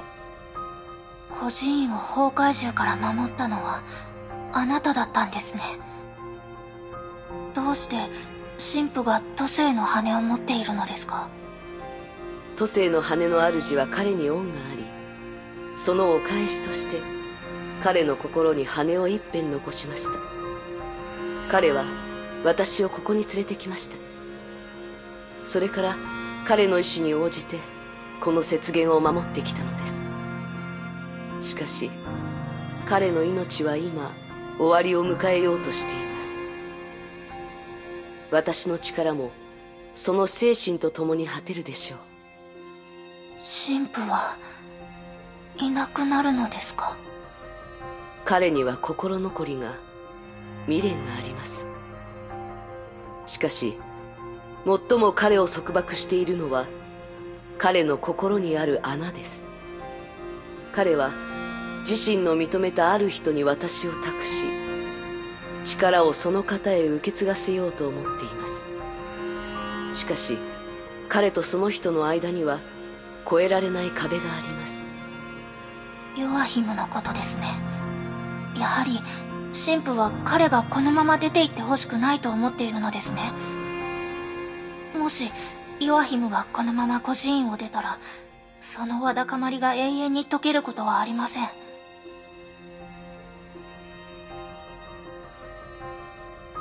これは彼らのわだかまりだけではありません。あなたのわだかまりでもあります。どういう意味ですか？ブローニャあなたは答えを求めるためにここに来ました。しかしあなたが本当に見つけたいのは他人ではなくあなた自身の答えです。それがあの瞬間あなたが開演の目に入った理由です。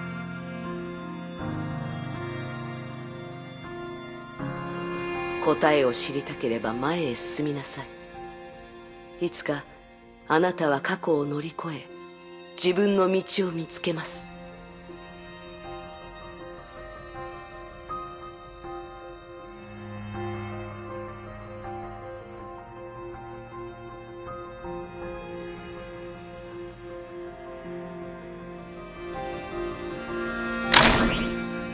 この世界のけプローニャお姉ちゃん。ゼーレは会いに来たよ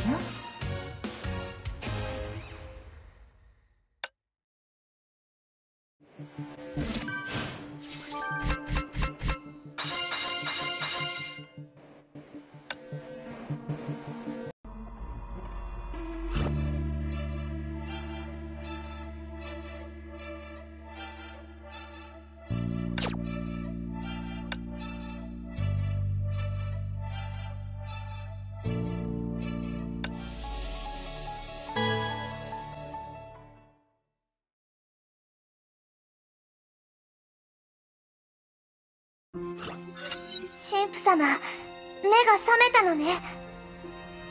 テレサ僕は一体どうやら心配をかけたようだね。はいテレサが大好きなゴーヤ餅だ。すまない。もう冷めてしまったね。今はそんな場合じゃないわ。何があったの？どうしてこんなところで倒れていたの？その傷は一体？ああ平気だ。一晩寝れば治るさ。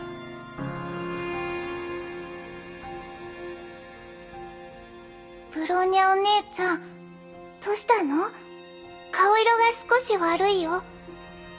ブローニャは平気です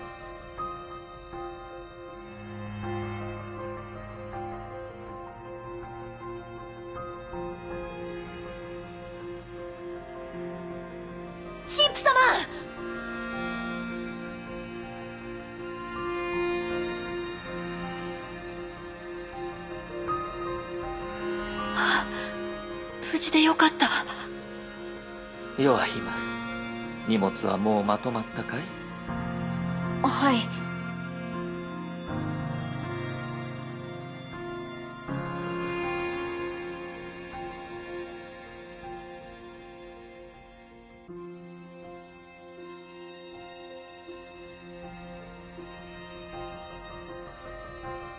明日の朝に出るんだ。今日早めに休むといいこの十字架僕の代わりに君に持っていてほしいんだ。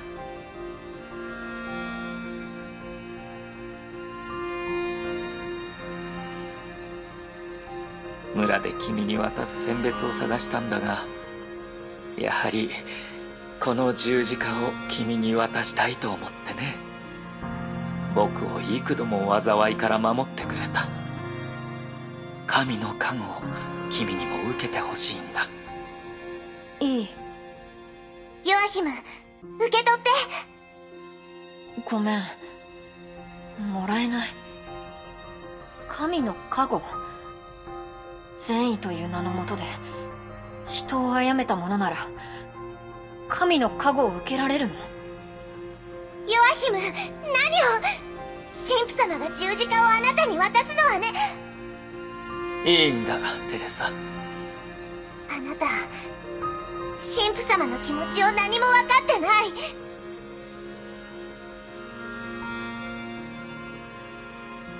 何も分かってないのはそっちだ。待ってくれヨアヒム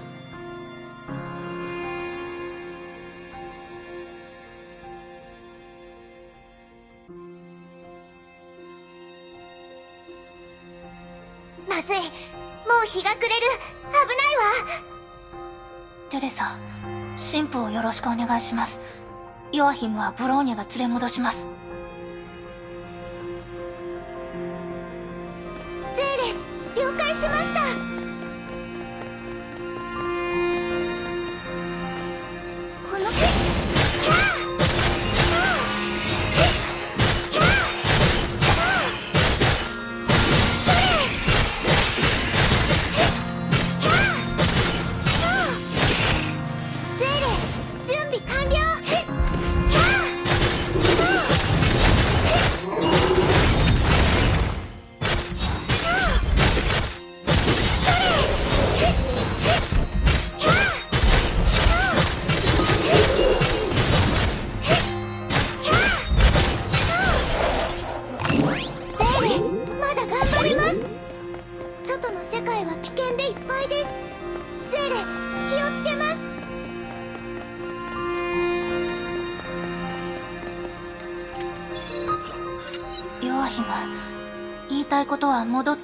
し合いましょう。皆さんが心配しています。僕のことはほっといて。僕を心配してるんじゃない。僕を手放したくない。神父様のことが心配なんだろもう考えたくない。僕のことはいいんだ。一人にさせて。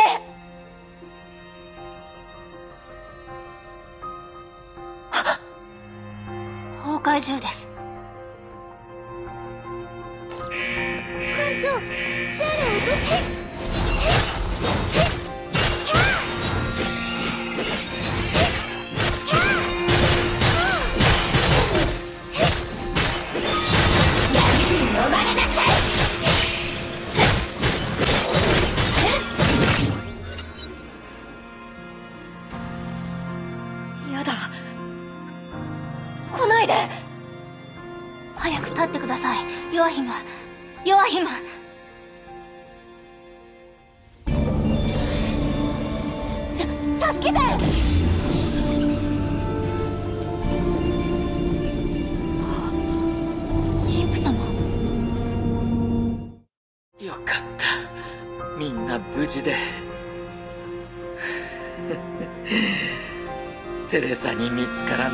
にするのって。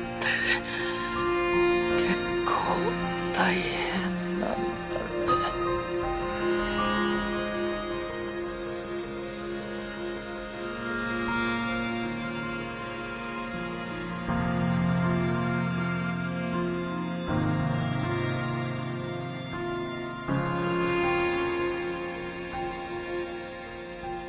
気を失ってしまいました。貸してください。神父に助けられたのでしょう。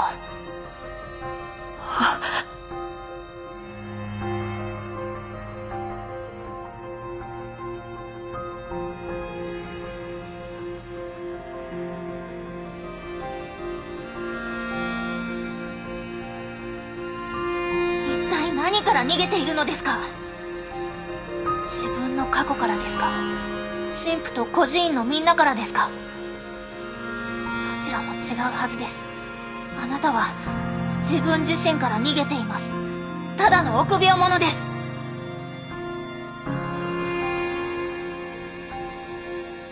わからない。一体どうすれば正しいか。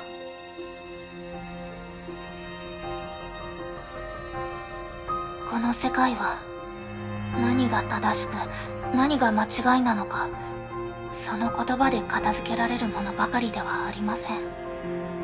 正しい悪いの区別がされるのは物事のみで人の心には当てはまらないのです。人に対してあることは何かをした後に背負わなければいけない責任だけです。難しいのは分かっています。昔のブローニャもあなたと同じでした。なら言ってください。黙ったままにしないで。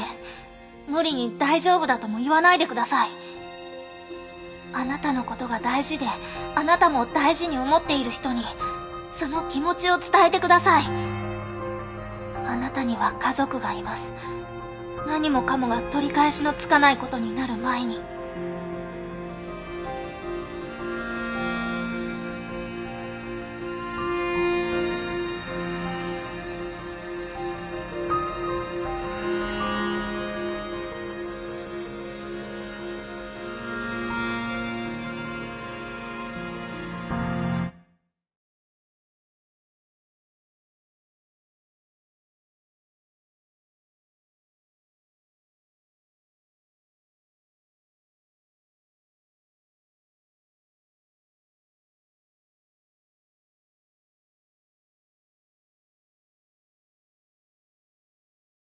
やっぱり、行っちゃったわね。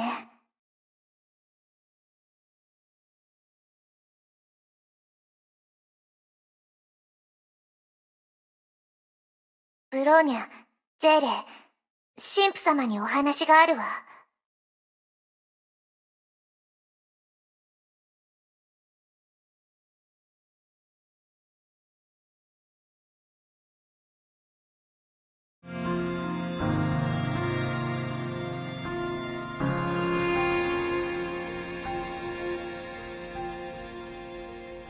テレサ僕は十字架を雪原に落としたようだ神父様、休んでいてください。十字架は、私が探してくるわ。来週、いや、明日、町の病院に連れて行くから、きっと治るわ。大丈夫いいんだヨアヒムは行ってしまったかい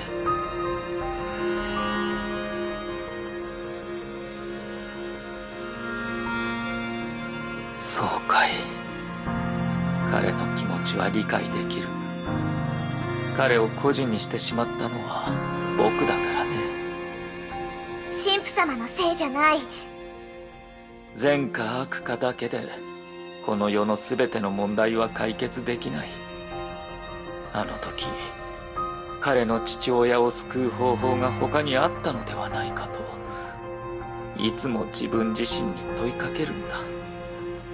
でもいくら考えてもあの日僕が彼を殺す結果に変わりはなかった。彼を通して昔の自分を見たのかもしれない。自分で殺したかった自分自身を。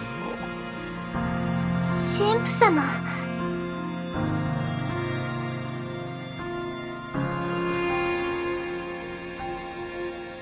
かつての僕も禁忌に触れ悪の力に手を染めた。たくさんの人を巻き添いいや犠牲にしてしまった。聖女が僕を止めて深淵から救い出してくれた。僕は彼女と一緒に組織から逃げ罪の根源を誰も知らない場所に封印した。でも僕たちは呪いを受けたんだ。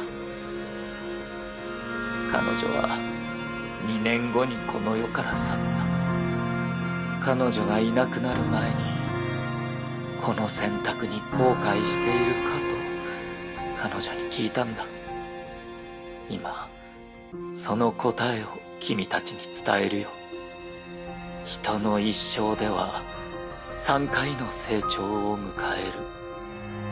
1回目は善と悪を理解する。2回目は善と悪だけじゃないと理解する。3回目は善と悪がないと承知した上で自分の信じたことを貫き責任を持てるようになる。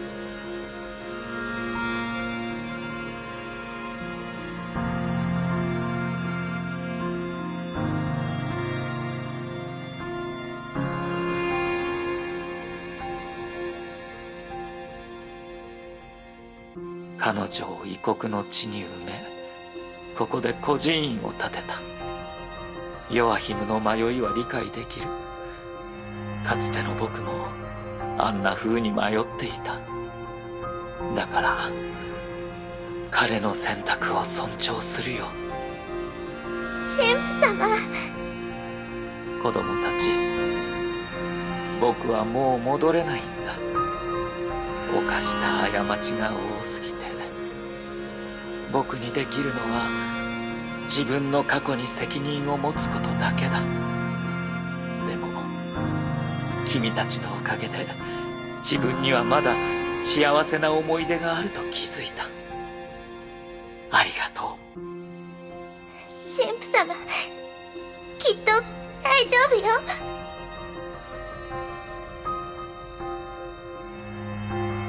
ヨアヒム聞いてましたか？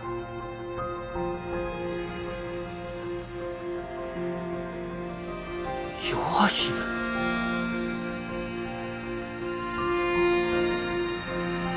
神父様が昨晩亡くした。十字架を見つけたよ。僕にプレゼントすると言ってくれたから。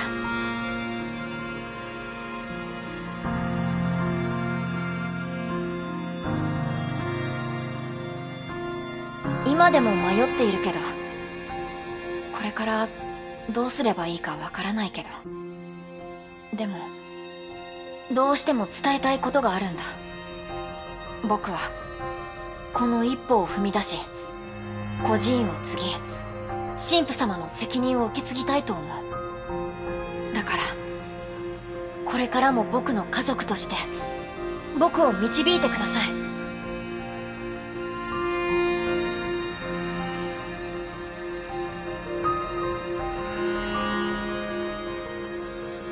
ああヨアヒム君はきっと自分の道を見つけ出すと信じてるよ。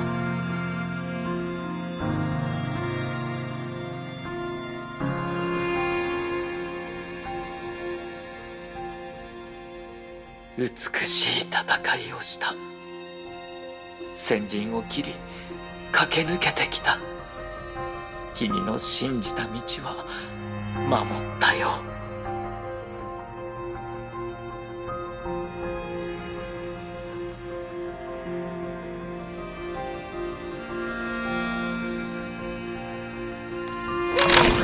いしました。プロニャお姉ちゃん。ゼーレはうまく戦えたか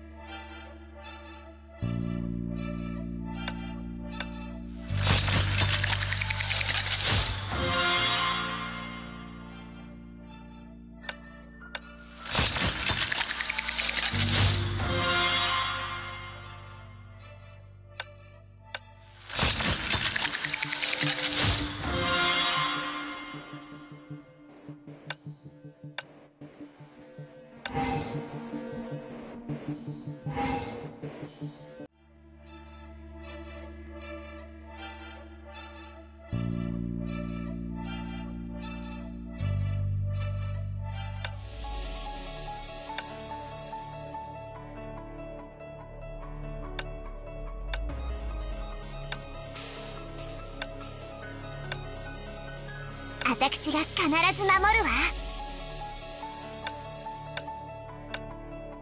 はあ館長。私が必ず守るわ。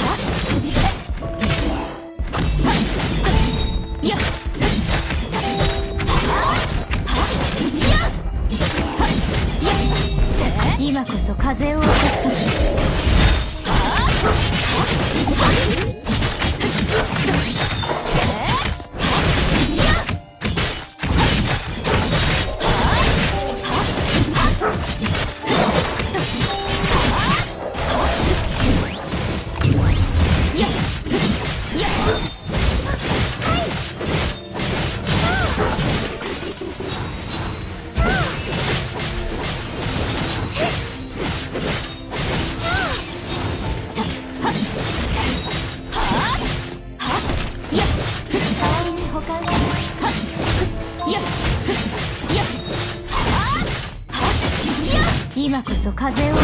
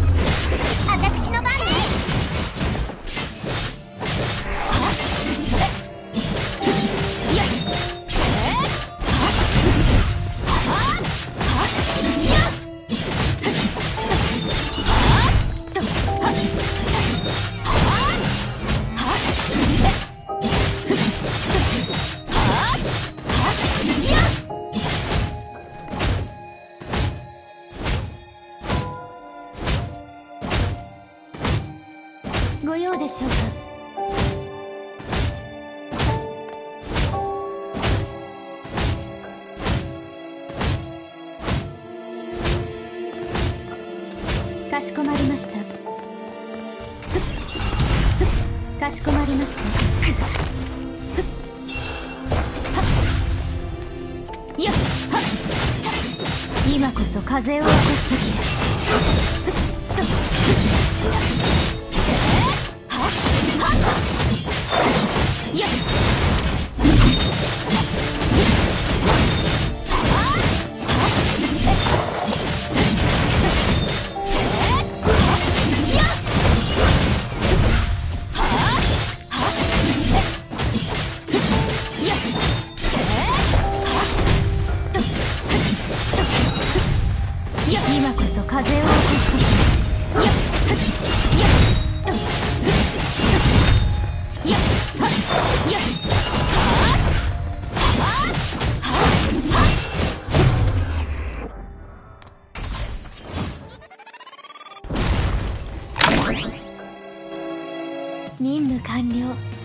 待たせいたしました。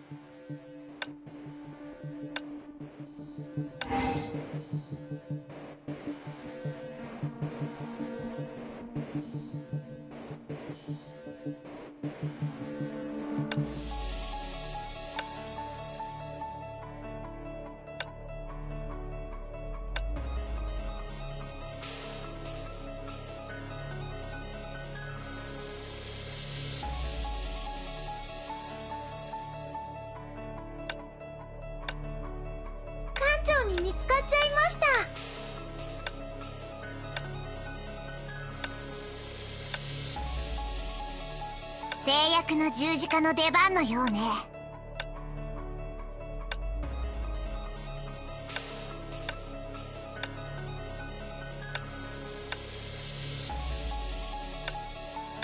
ご用命でしょうか？館長ゼーレと一緒に遊んでほしい。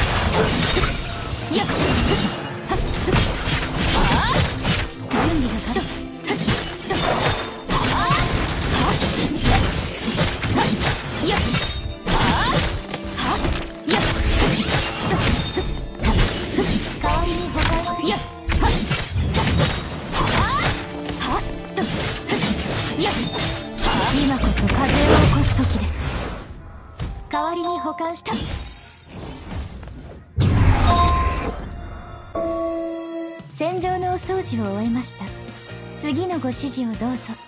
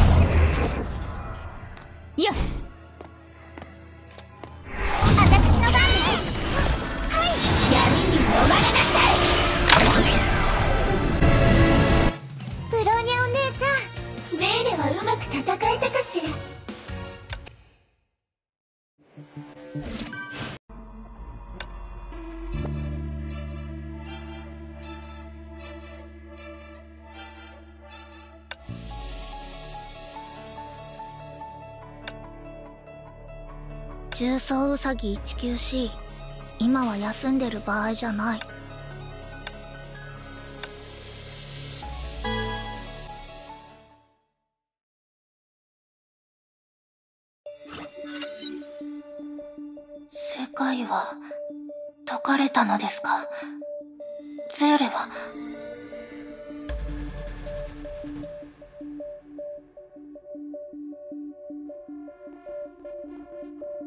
お帰りなさい。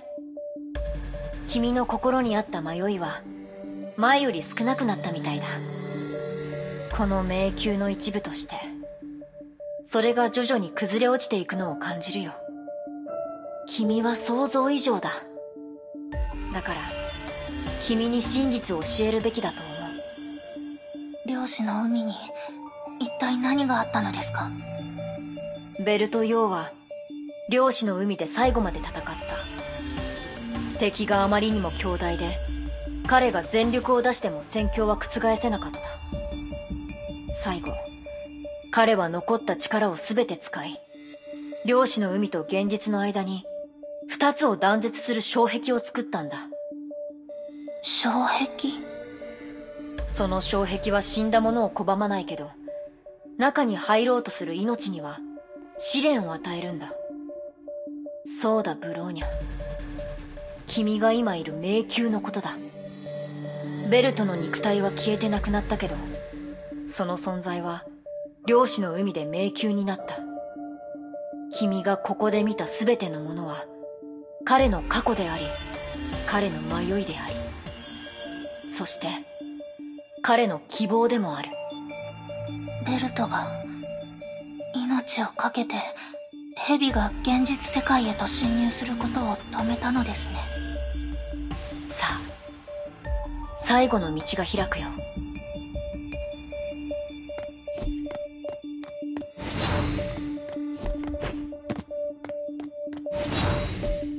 この程度怖くなんてないよ。かくれんぼだよ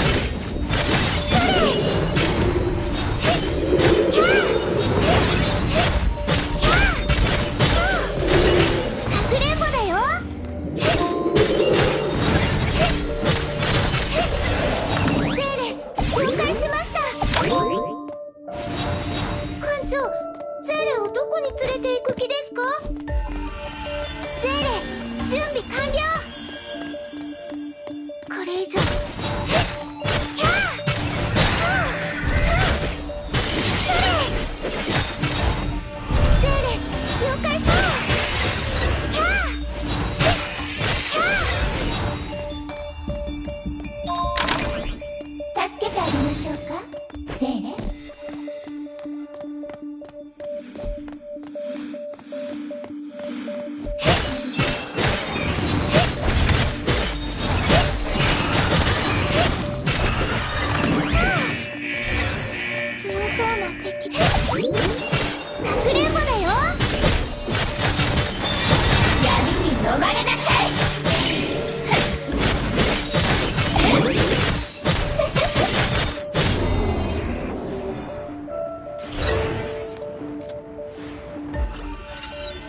最後の世界。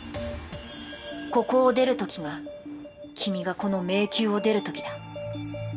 その時僕は君の力となり断りのコアの場所へ案内するよ。その力を借りて君は漁師の海に入ることができる。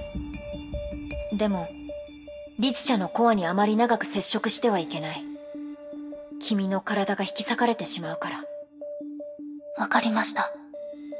約束してブローニャこれから何を見ても絶対にヘビをここから出さないと約束します。世界を脅かす蛇は、ブローニャの敵でもあります。ブローニャは、絶対にベルトの意志を裏切りません。幸運を祈るよブローニャ最後の世界。それを解いて、ブローニャは漁師の海に入ります。ゼーレとデザイアジェムが、そこでブローニャを待っています。ブローニャお姉ちゃんゼーレは会いに来たよ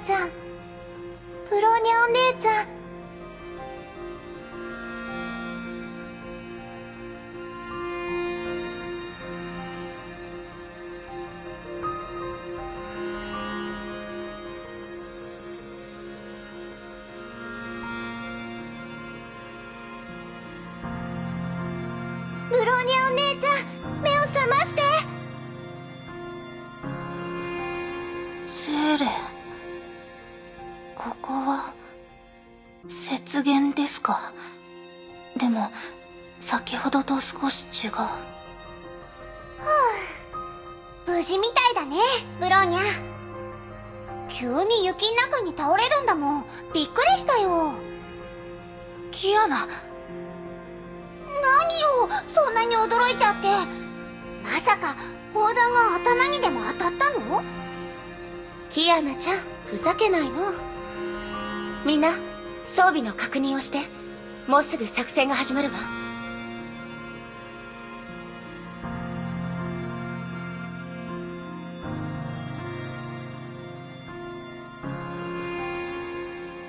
空の律者への総攻撃がもうじき最終段階に入る彼女は崩壊原子炉のエネルギーを吸い取り次元の狭間から崩壊獣の大軍を召喚しようとしてるわ空の律者？でも、キアナならここに。つまり、ここは第二次崩壊？でも、どうしてキアナとメイ姉様がこの時代に。敵の反応が近づいている。全員応戦準備。ゼーレ了解しました。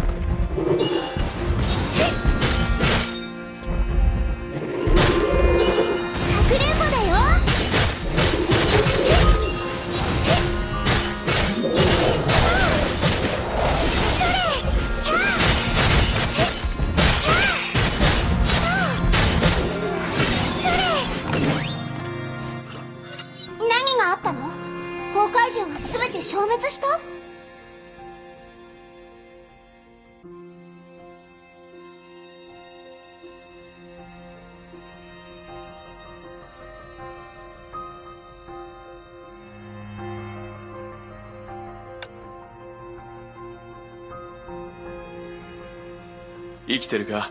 バルキリー。ベルトこの世界では大人の姿なのですね。あなたたちはネゲントロピー。油断するな。まだ戦争は終わっていない。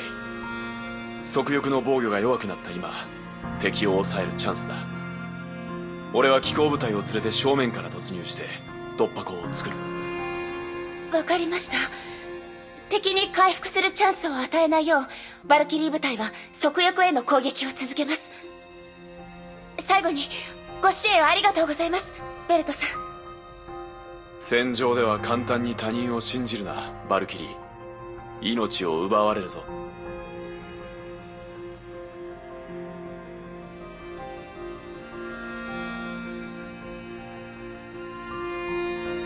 ベルトよネゲントロピー名士としての彼を見たのは初めてです。どうしてか冷たい感じがします。ブローニャの記憶の中にある彼とは違います。飛べるなんてすごい。きっとあの人がネゲントロピーのボスね。あれが第一律者？すごいね。手を軽く振っただけであれほどの崩壊獣を倒すんだもん。でも第一律者は数十年前に主教様に倒されたって聞いたけど彼って偽物じゃないよね。詳細に関しては私もよく知らないわ。彼がネゲントロピーを作って律者である自分が人類のために戦うと宣言したことくらいしか。ただ今まで一緒に戦ってきてネゲントロピーの他の幹部には会ったことがないわ。あるのは大量の機甲部隊だけ。操縦士もコックピットから出るつもりがないみたいだし。うん。怪しいわ。方向を私たちに向けたりしないよね。人類のために戦う律者なんて信じられないよ。そう言わないでキアナちゃんさっき私たちを助けてくれたでしょ？この違和感は何でしょうか？ブローニャお姉ちゃんこの世界は少し変わってると思う。聖フレイヤ学園とも孤児院とも違う。この世界は危ない。怖がらないでくださいゼーレ。ブローニャがゼーレを守りますおしゃべりはここまでにして前に進みましょう。この世界の景色懐かしい。これ以上お姉ちゃんを傷つけさせない。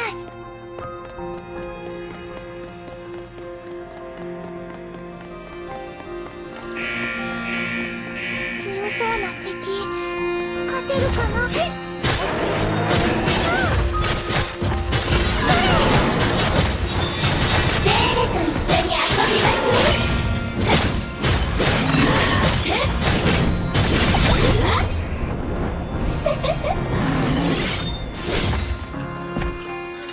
反応は全て消失。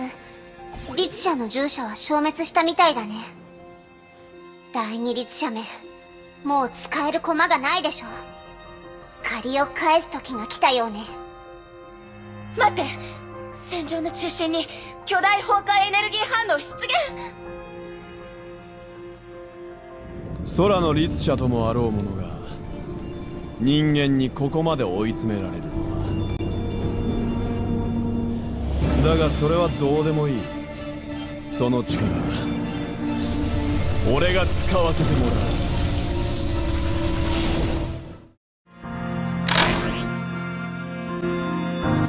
プローニャお姉ちゃん。ゼーレはうまく戦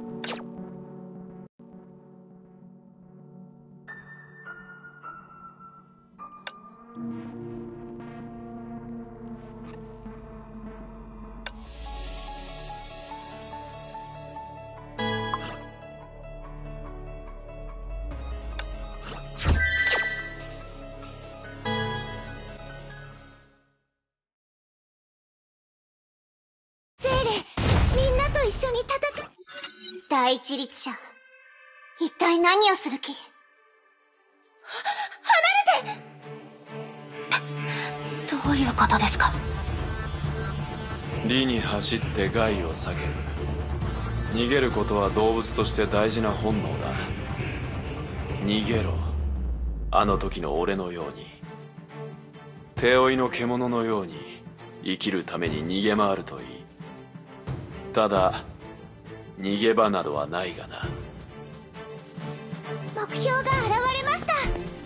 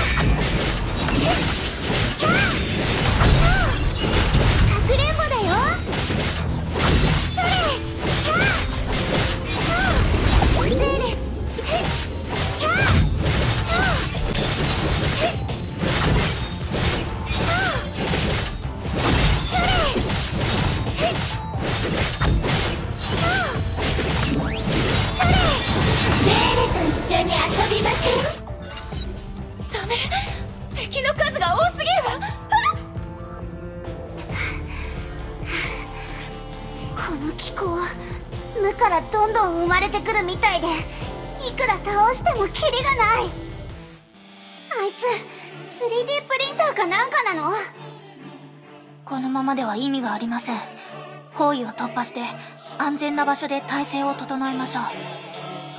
ひとまずバビロン実験室へ。あそこの地形なら狭くて包囲されにくいわ。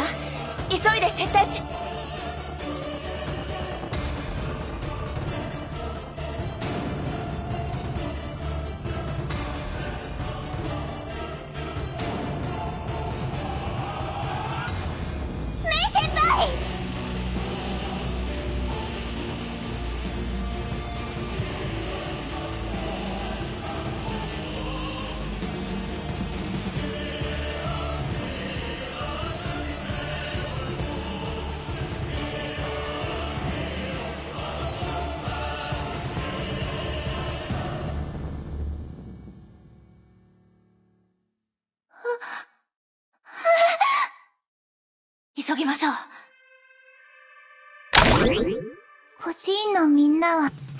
プロニャお姉ちゃん。ゼーレは会いに来たよ。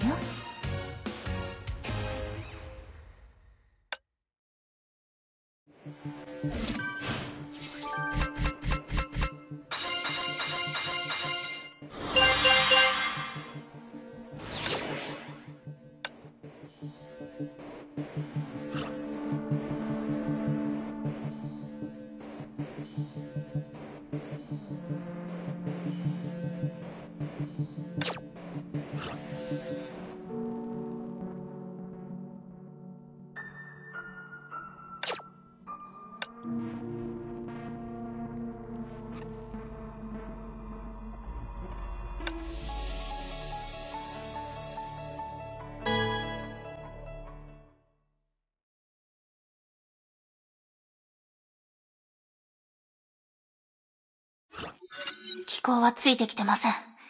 第一律者は他のところに集中しているようです。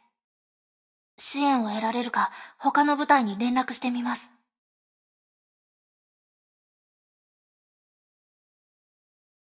デルタ小隊支援を求む。繰り返す支援を求む。第一列車が裏切った。レゲントロピーの気候と崩壊獣に囲まれた。座標は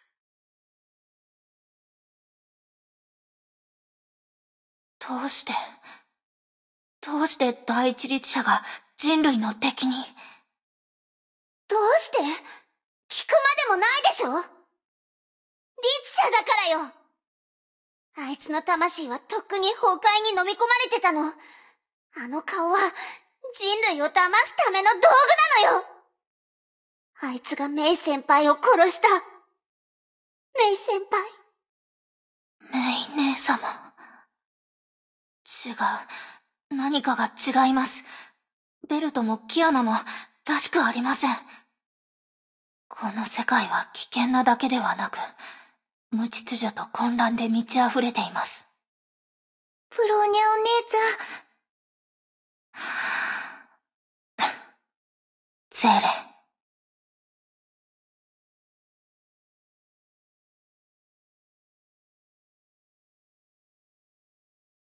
大丈夫です、ゼーレ。ブローニャはかすり傷しか負っていません。手当てすれば大丈夫です。あ、あの人、死んじゃった。ゼーレ、これ以上考えないでください。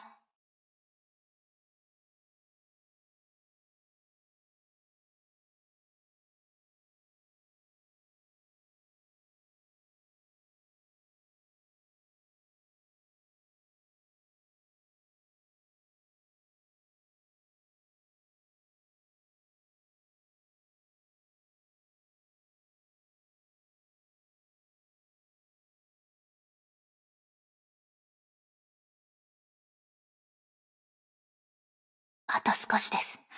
これが最後の世界です。もうすぐ、ゼーレをここから出してあげます。あなたを連れて現実に戻り、一緒に学園に通って、遊園地に行って、海に行って、そう、一緒に海に行く約束をしました。ブローニャは、ゼーレとの約束を守ります。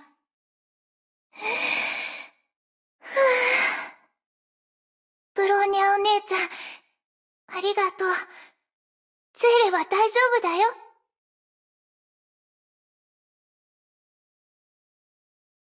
あれ？急に静かになったね。キアナ？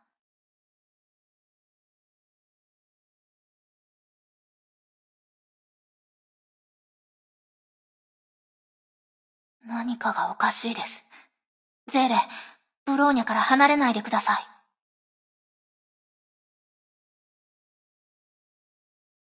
うん、ブローニャお姉ちゃん。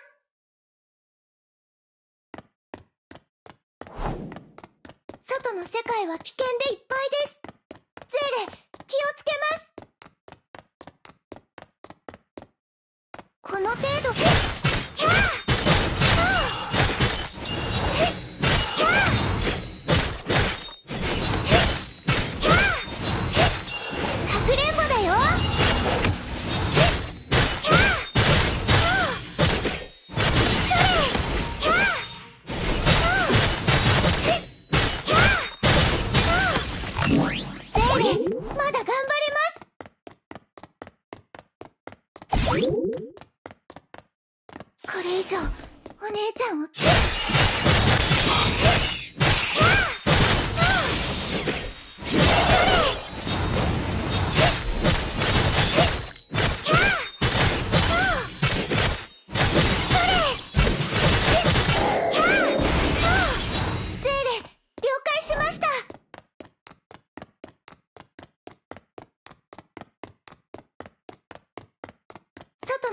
は危険でいっぱい。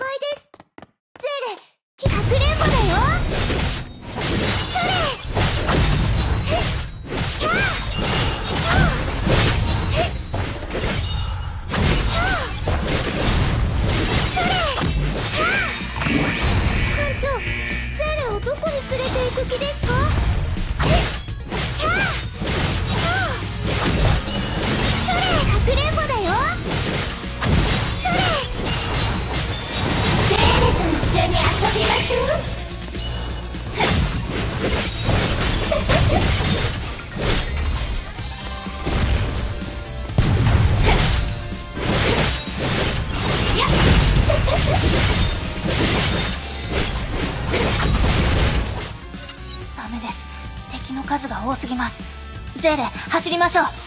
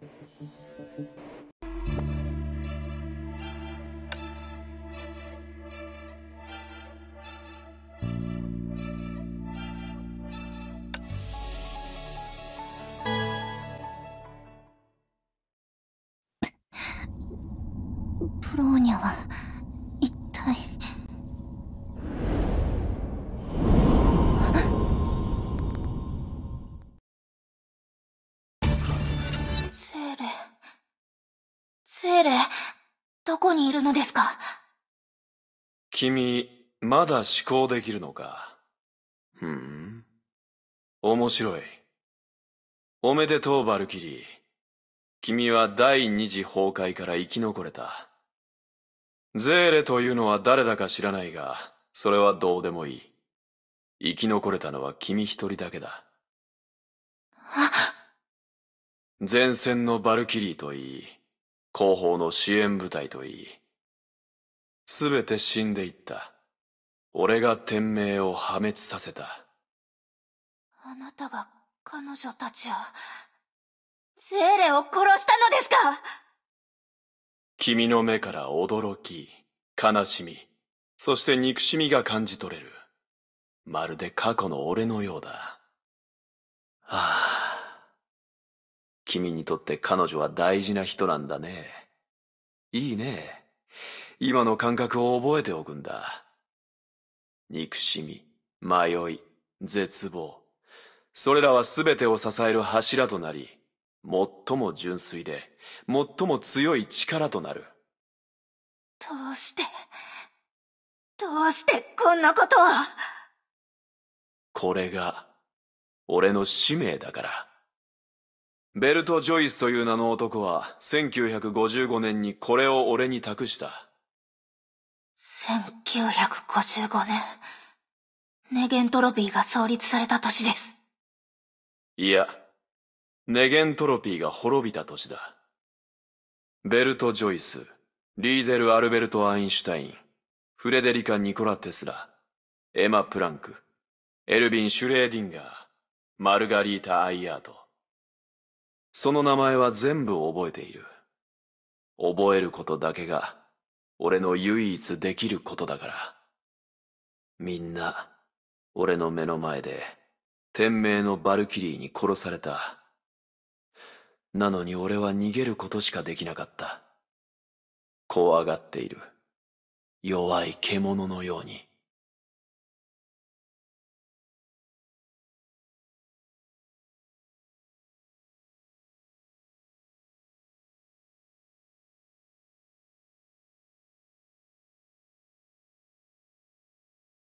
ネゲントロピーが滅びた光の見えない暗い夜が訪れるたびに、あの男の夢を見るんだ。血の中に倒れた彼は、その名と律者コアを俺に託した。何度も何度も。最後、俺は戻ってきた。彼の名で、人類のために戦う約束を果たした。天命を滅ぼすことそれがあなたの言う人類のために戦うやり方ですかあなたはネゲントロピーの滅びた歴史を繰り返しただけです。そのやり方はあなたの人生を壊したものと何も違いはありません。ネゲントロピーの創立者たちがあなたにそんな使命を託すわけがありません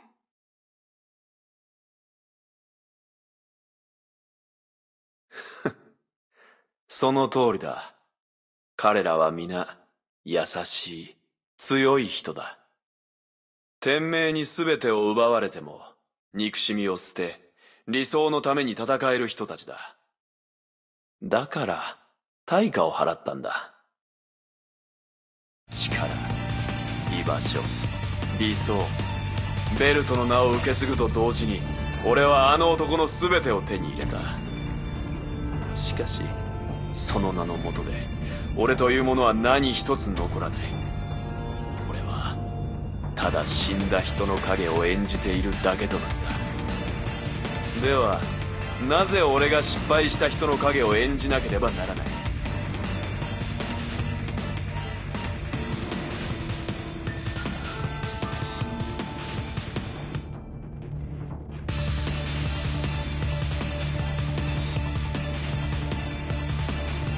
そうだ。俺が空のリス者を殺してこの世界を救ったんだ。あの男ができなかったことを成し遂げたんだ。俺はあの人を超えたんだ。あなたは狂っています。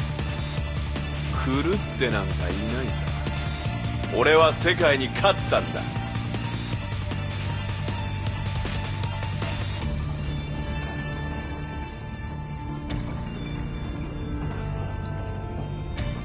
これが俺の力。俺の居場所。俺の理想。これが本当の俺だ。この世界の景色。懐かしい。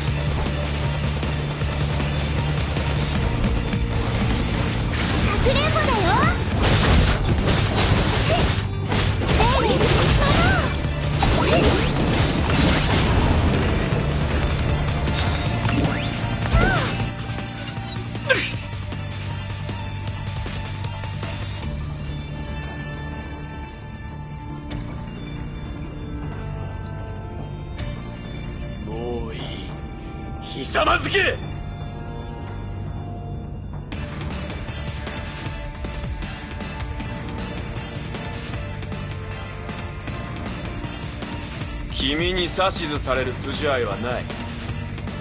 俺は君の大事な人を殺した。君は俺を憎んでいる。俺たちには何の違いもないだろう。ブ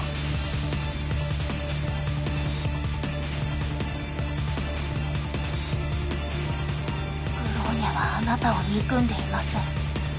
ただあなたのことを悲しいかわいそうな人だと思っています。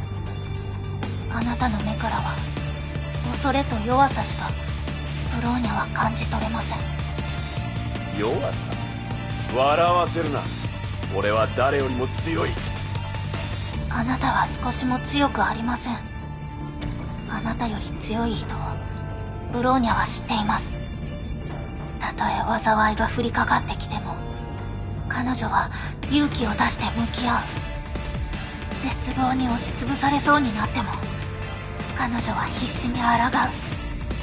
彼女はただの凡人です。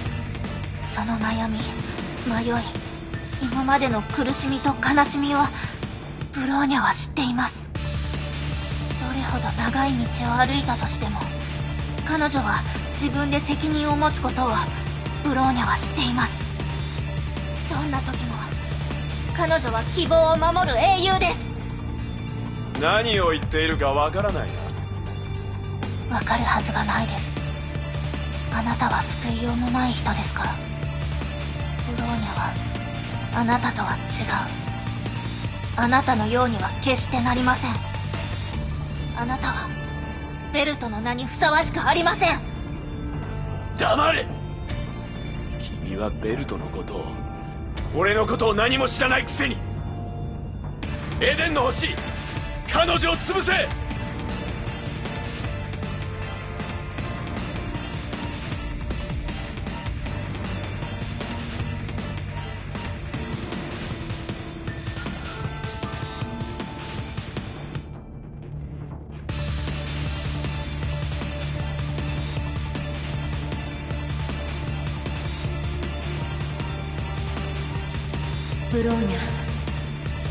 は答えを見つけたんだね。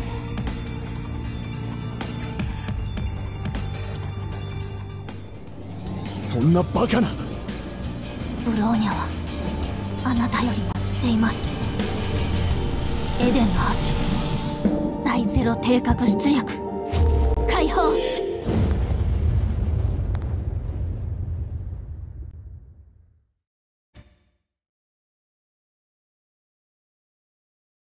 お姉ちゃん。やったわ世界が崩れていくもうゴールまであと一歩よ。ゼーレ、何をすべきかわかるわよね。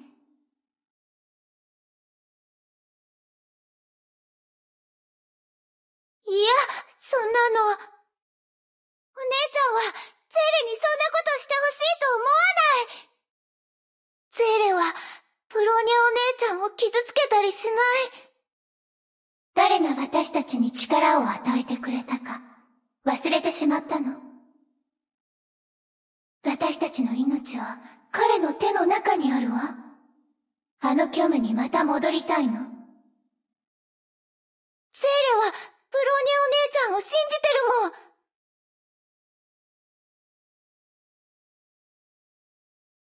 ブローニャを信じてる。何年過ぎてもあなたは弱いままね。自分の存在ですら保てないのに、何を頼りにブローニャを守るの？何するの？いや、話して。ゼーレ、あなたの任務は終わったわ。次は、私の出番よ。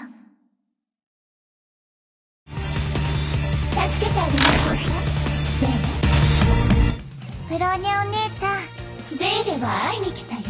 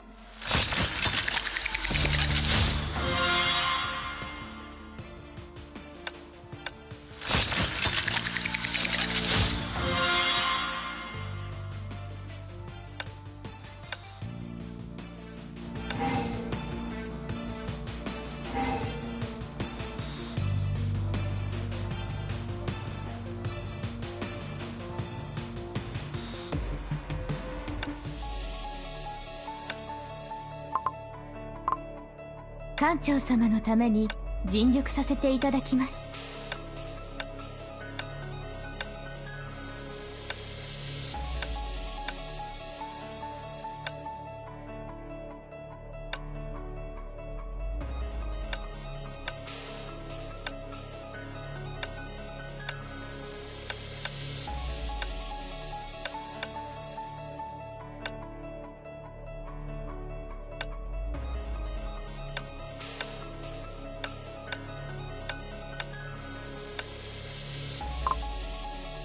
R 級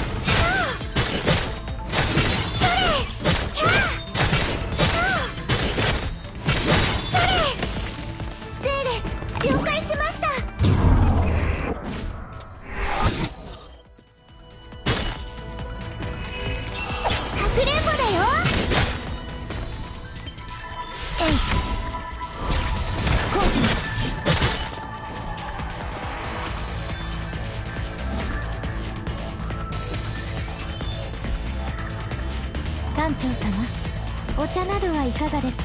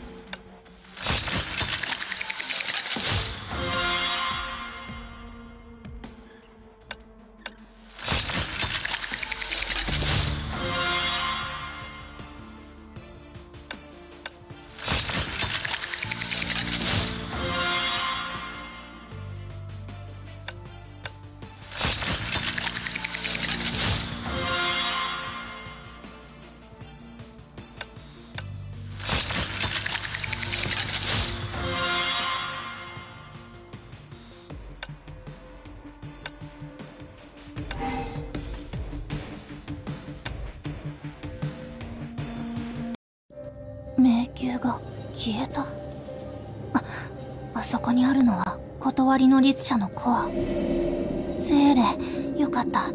無事だったのですね。はい。ゼーレは大丈夫です。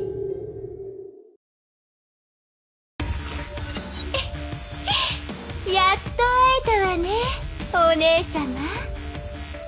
あれが断りの律者のコアね。こんな形で出てくるとはあれさえあればゼーレはお姉様と外の世界でずっと一緒にいられるわね。あなたはゼーレじゃありません。誰ですか？ゼーレに何をしたんですか？ひどいよ。お姉ちゃんは私のことを覚えていないの？そうね。今日が初めまして。自己紹介をさせてもらうわ。私はゼーレの中にいる。もう一人の彼女よ。もう一人の？意味を理解できません。ゼーレをブローニャに返してください。ゼーレを守りたい気持ちはわかるわ。安心して。私たちは二人で一つだから彼女を傷つけたりなんてしない。それにゼーレを救える方法も知っている。断りの律者のコアを私に渡して。そうしたらゼーレも私も現実世界に戻れるわ。ブローニャは開演の目を使ってゼーレを連れ戻します。無駄よ。ゼーレはお姉様と違って体が漁師の海と同化したんだから。X 点実験は彼女に次元を行き来する力を与えてくれたわ。だけど力をコントロールできなくなって彼女の体を蝕んでいった。これはあなたも分かっているはずよ。普通の方法では助けることはできないの。でも心配しないで。いい知らせもあるわ。どうしてゼーレがここに姿を現せたか。お姉様は気にならない？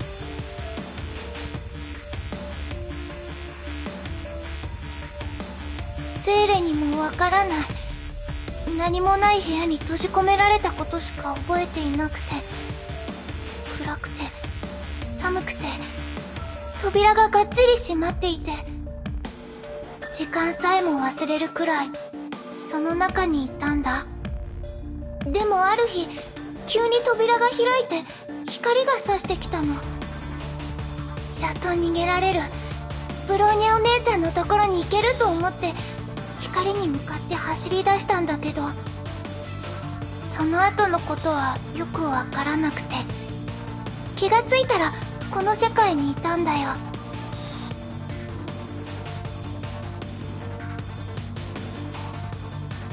答えは私たちを救った人がいるから。でもそれには代価が必要だった。実験が失敗した後私たちは虚無の空間から抜け出そうと出口を探して漂っていたわ。幾日も幾月も。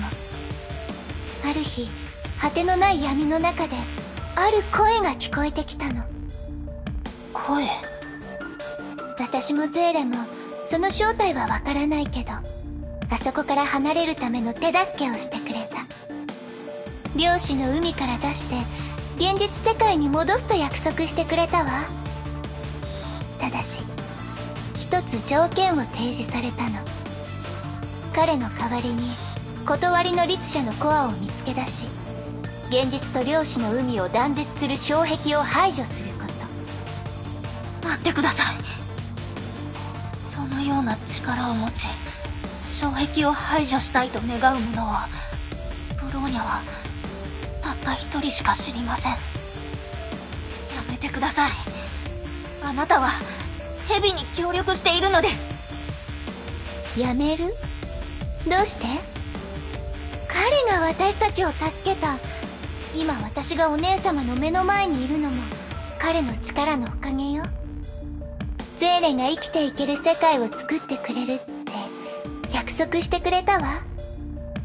崩壊に脅かされることのないゼーレもお姉様も幸せに暮らせる世界。漁師の海から出るためにあなたを利用しているだけです。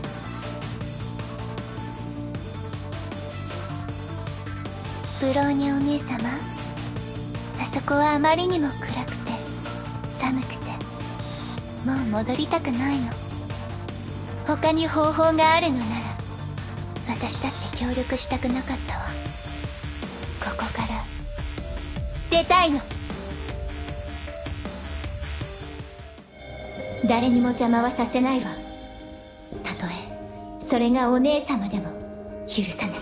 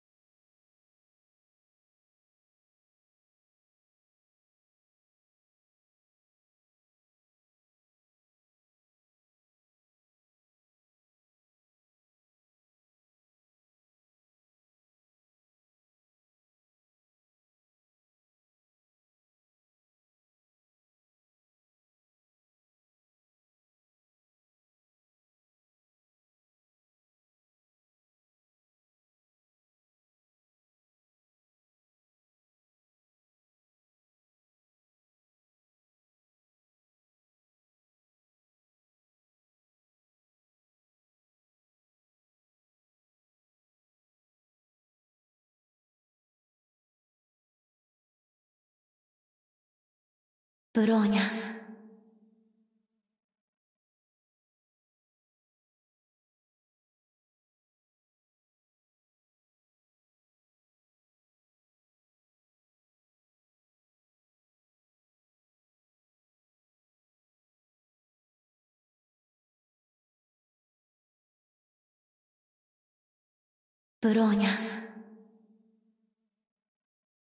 誰？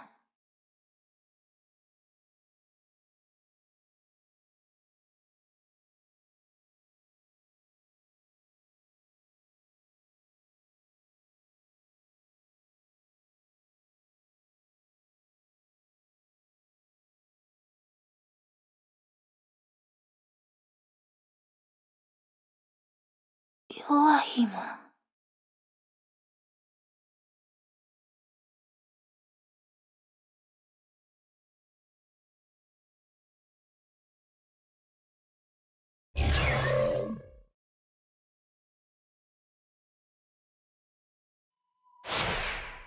ゼーレはずっとブローニャお姉ちゃんのそばにいるよ。昔目標補足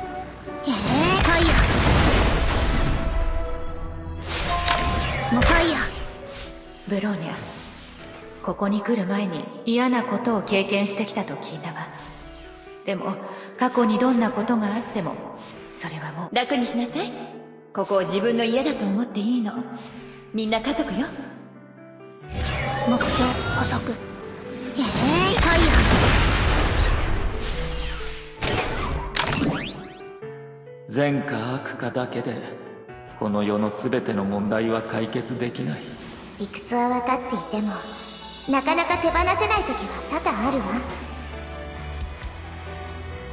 私がその立場だったらきっとすぐ納得できないもの。しかしあなたが本当に見つけたいのは他人ではなくあなた自身の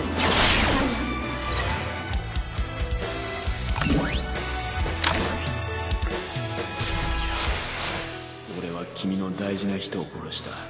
君は俺を憎んでいる。俺たちには何の違いもないだろう。ブローニャはあなたとは違う。あな人の一生では3回の成長を迎える。君は特別だね。君の過去は他のものとは違う。それが君に年齢にそぐ。いつかあなたは過去を乗り越え自分の道を見つけます。ブローニャそう遠くない未来であなたが優秀なバルキリーになっていることを信じているわ。目標加速えいファイヤー。発射。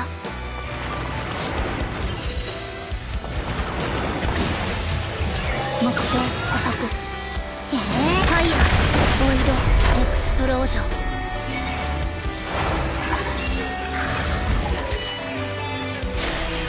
目標加速えい。ファイヤ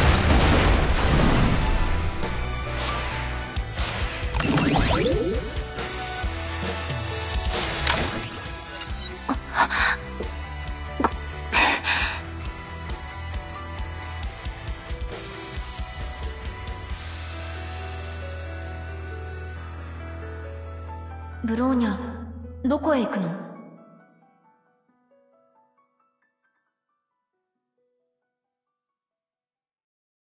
漁師の海です。みんなが、ゼーレが、まだブローニャを待っています。ブローニャは、自分の責任を果たさなければいけません。ブローニャは、漁師の海に行きます。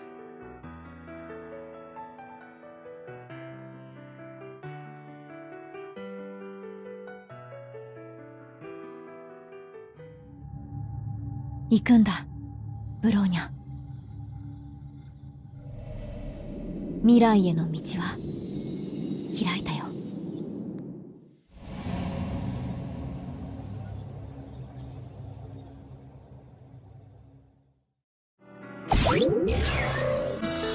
任務完了。待機モードに行。こう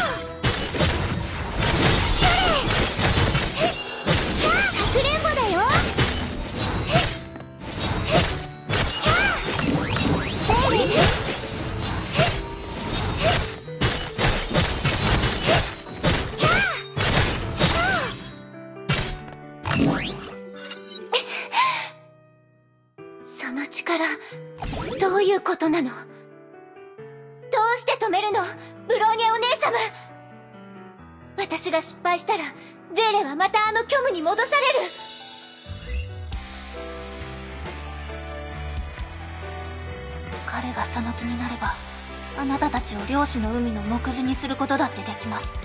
あれは、救いを施す存在ではありません。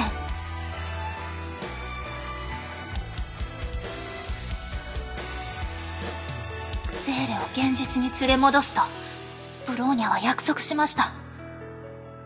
だからこそ、あなたたちの命を蛇に任せることはできないのです。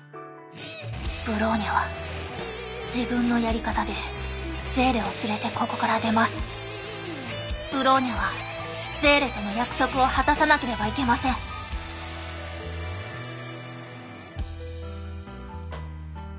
本当は1秒でもあそこには戻りたくない。でもゼーレは待ってるって言ったわ。参ったわね。